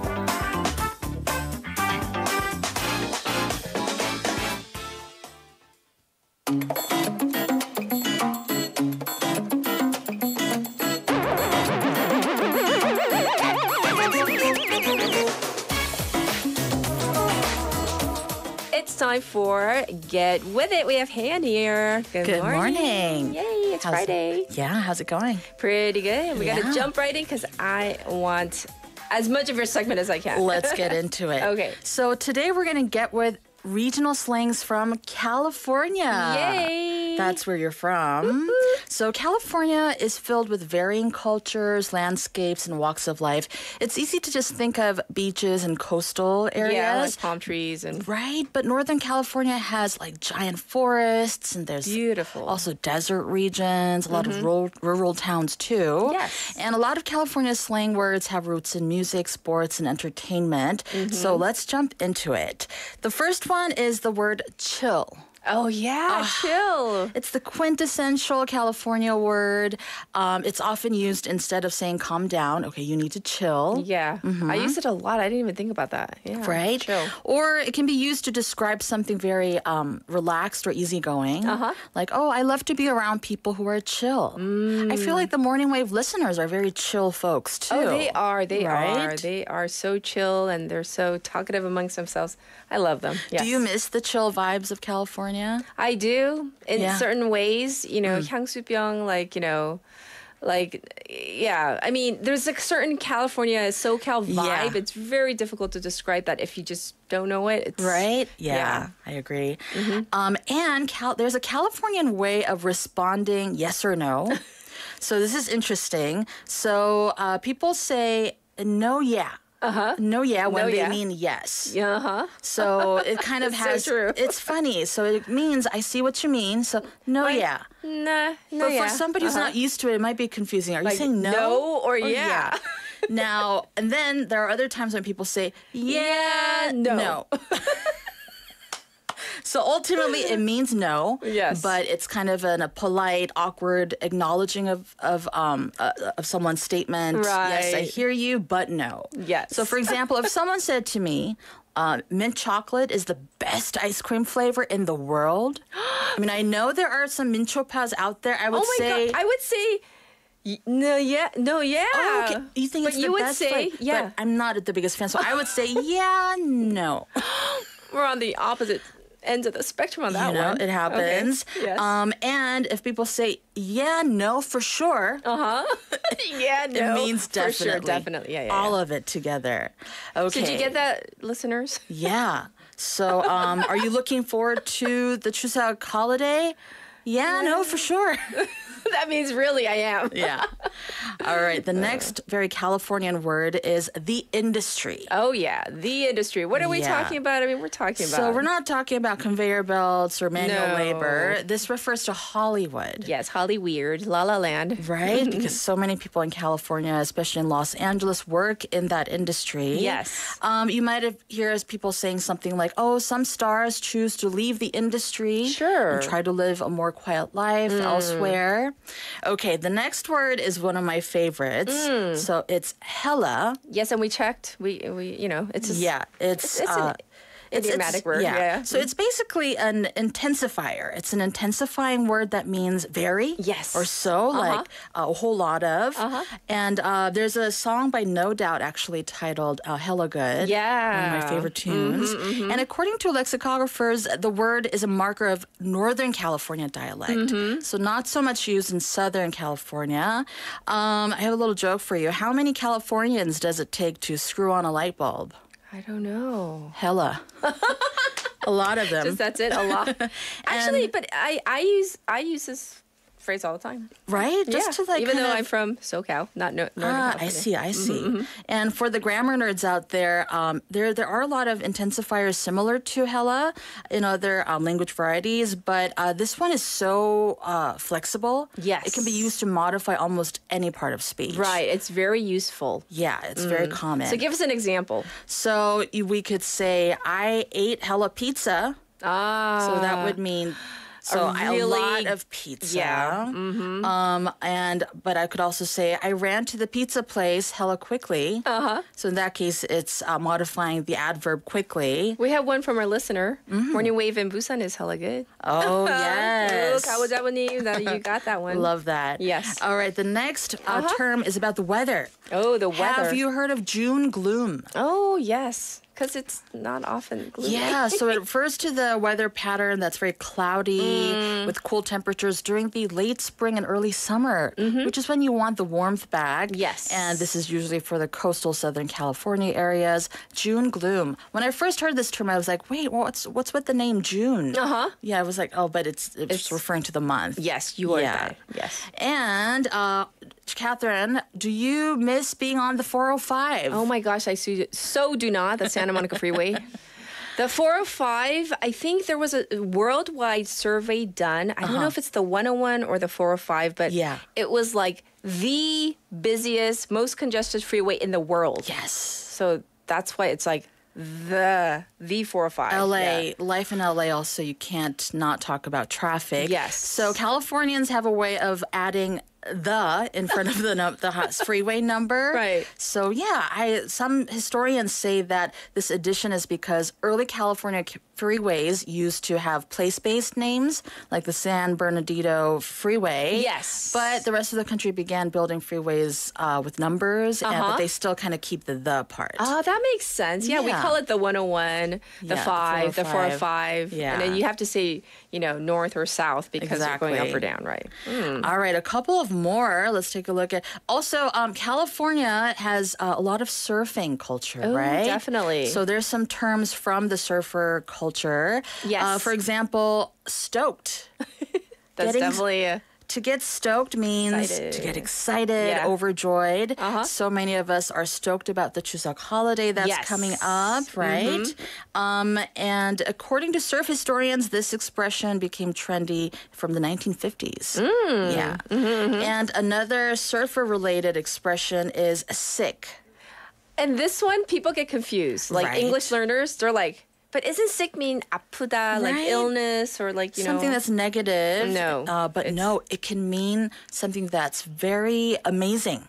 Outstanding. Outstanding, impressive. Yes. So, for example, oh my God, this song is sick. Yeah, that means it's a Right? good thing. Not It's a like good thing. 그 노래가 아프다가 Right. 아니라 너무 좋다, 멋있다. 맞아요. Right, right, right. Uh, I like that Californian slangs have a lot of way, different ways of saying good.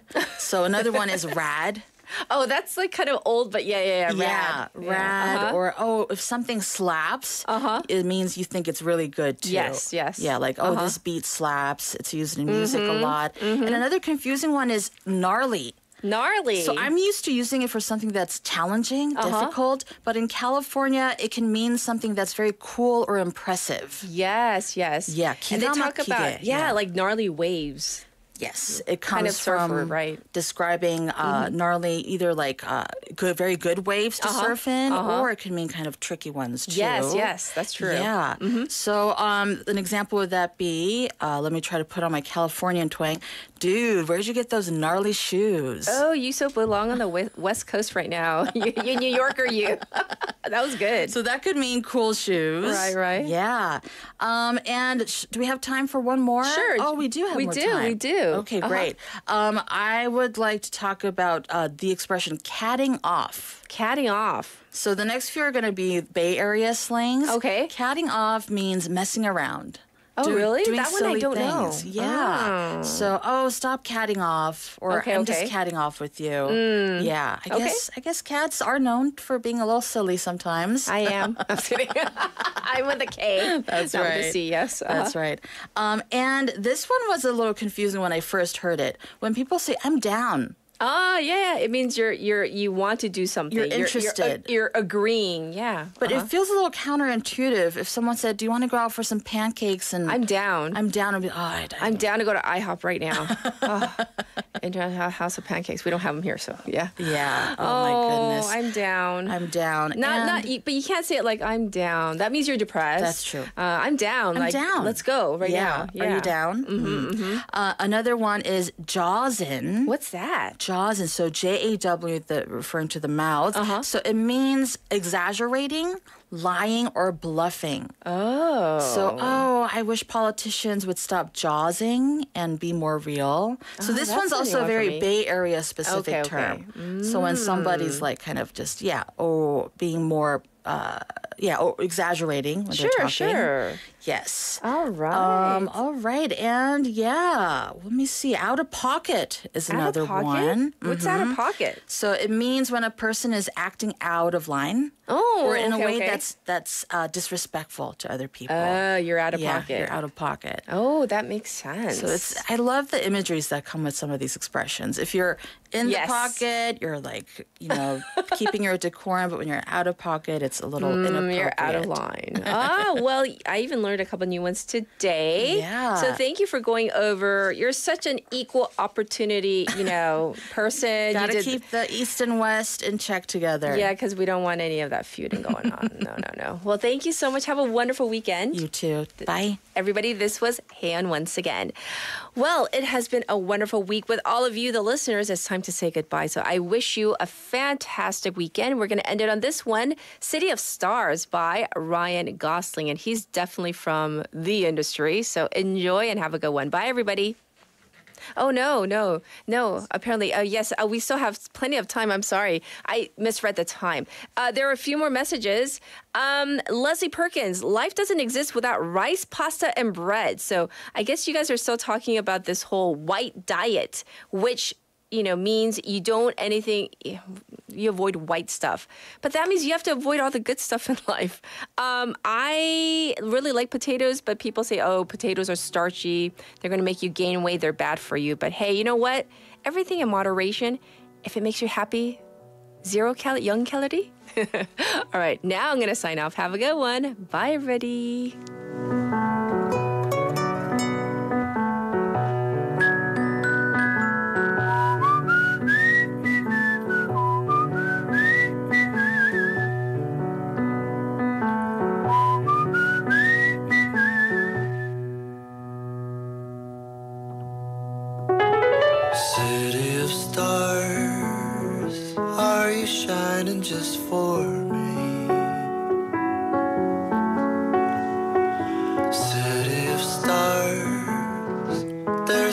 much that I can't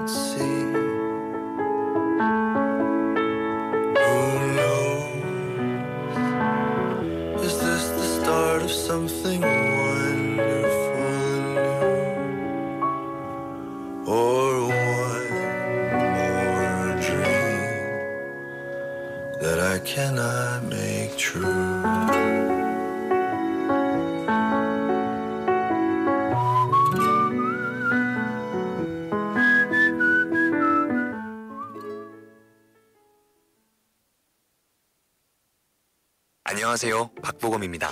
누군가의 행동이 MBTI의 예측대로 흘러갈 때, 레시피대로 만든 음식이 가장 맛있을 때, 요즘엔 이렇게 말한다죠? 와, 이건 진짜 과학이다. 아, 그런데 이 말은 어디서 시작된 걸까요? 침대는 과학입니다. 맞네. 침대는 과학이다. 에이스 침대. 부산을 한 장의 사진에 담는다면 어디로 가야 할까요? 꼬꼬마 시절 이때만큼은 세상을 내려다보며 꿈을 키웠고 용돈을 모아 산 사진기는 아직도 서랍 속에 있습니다. 시간이 흘러 키는 자라고 사진은 어디서든 찍을 수 있는 세상이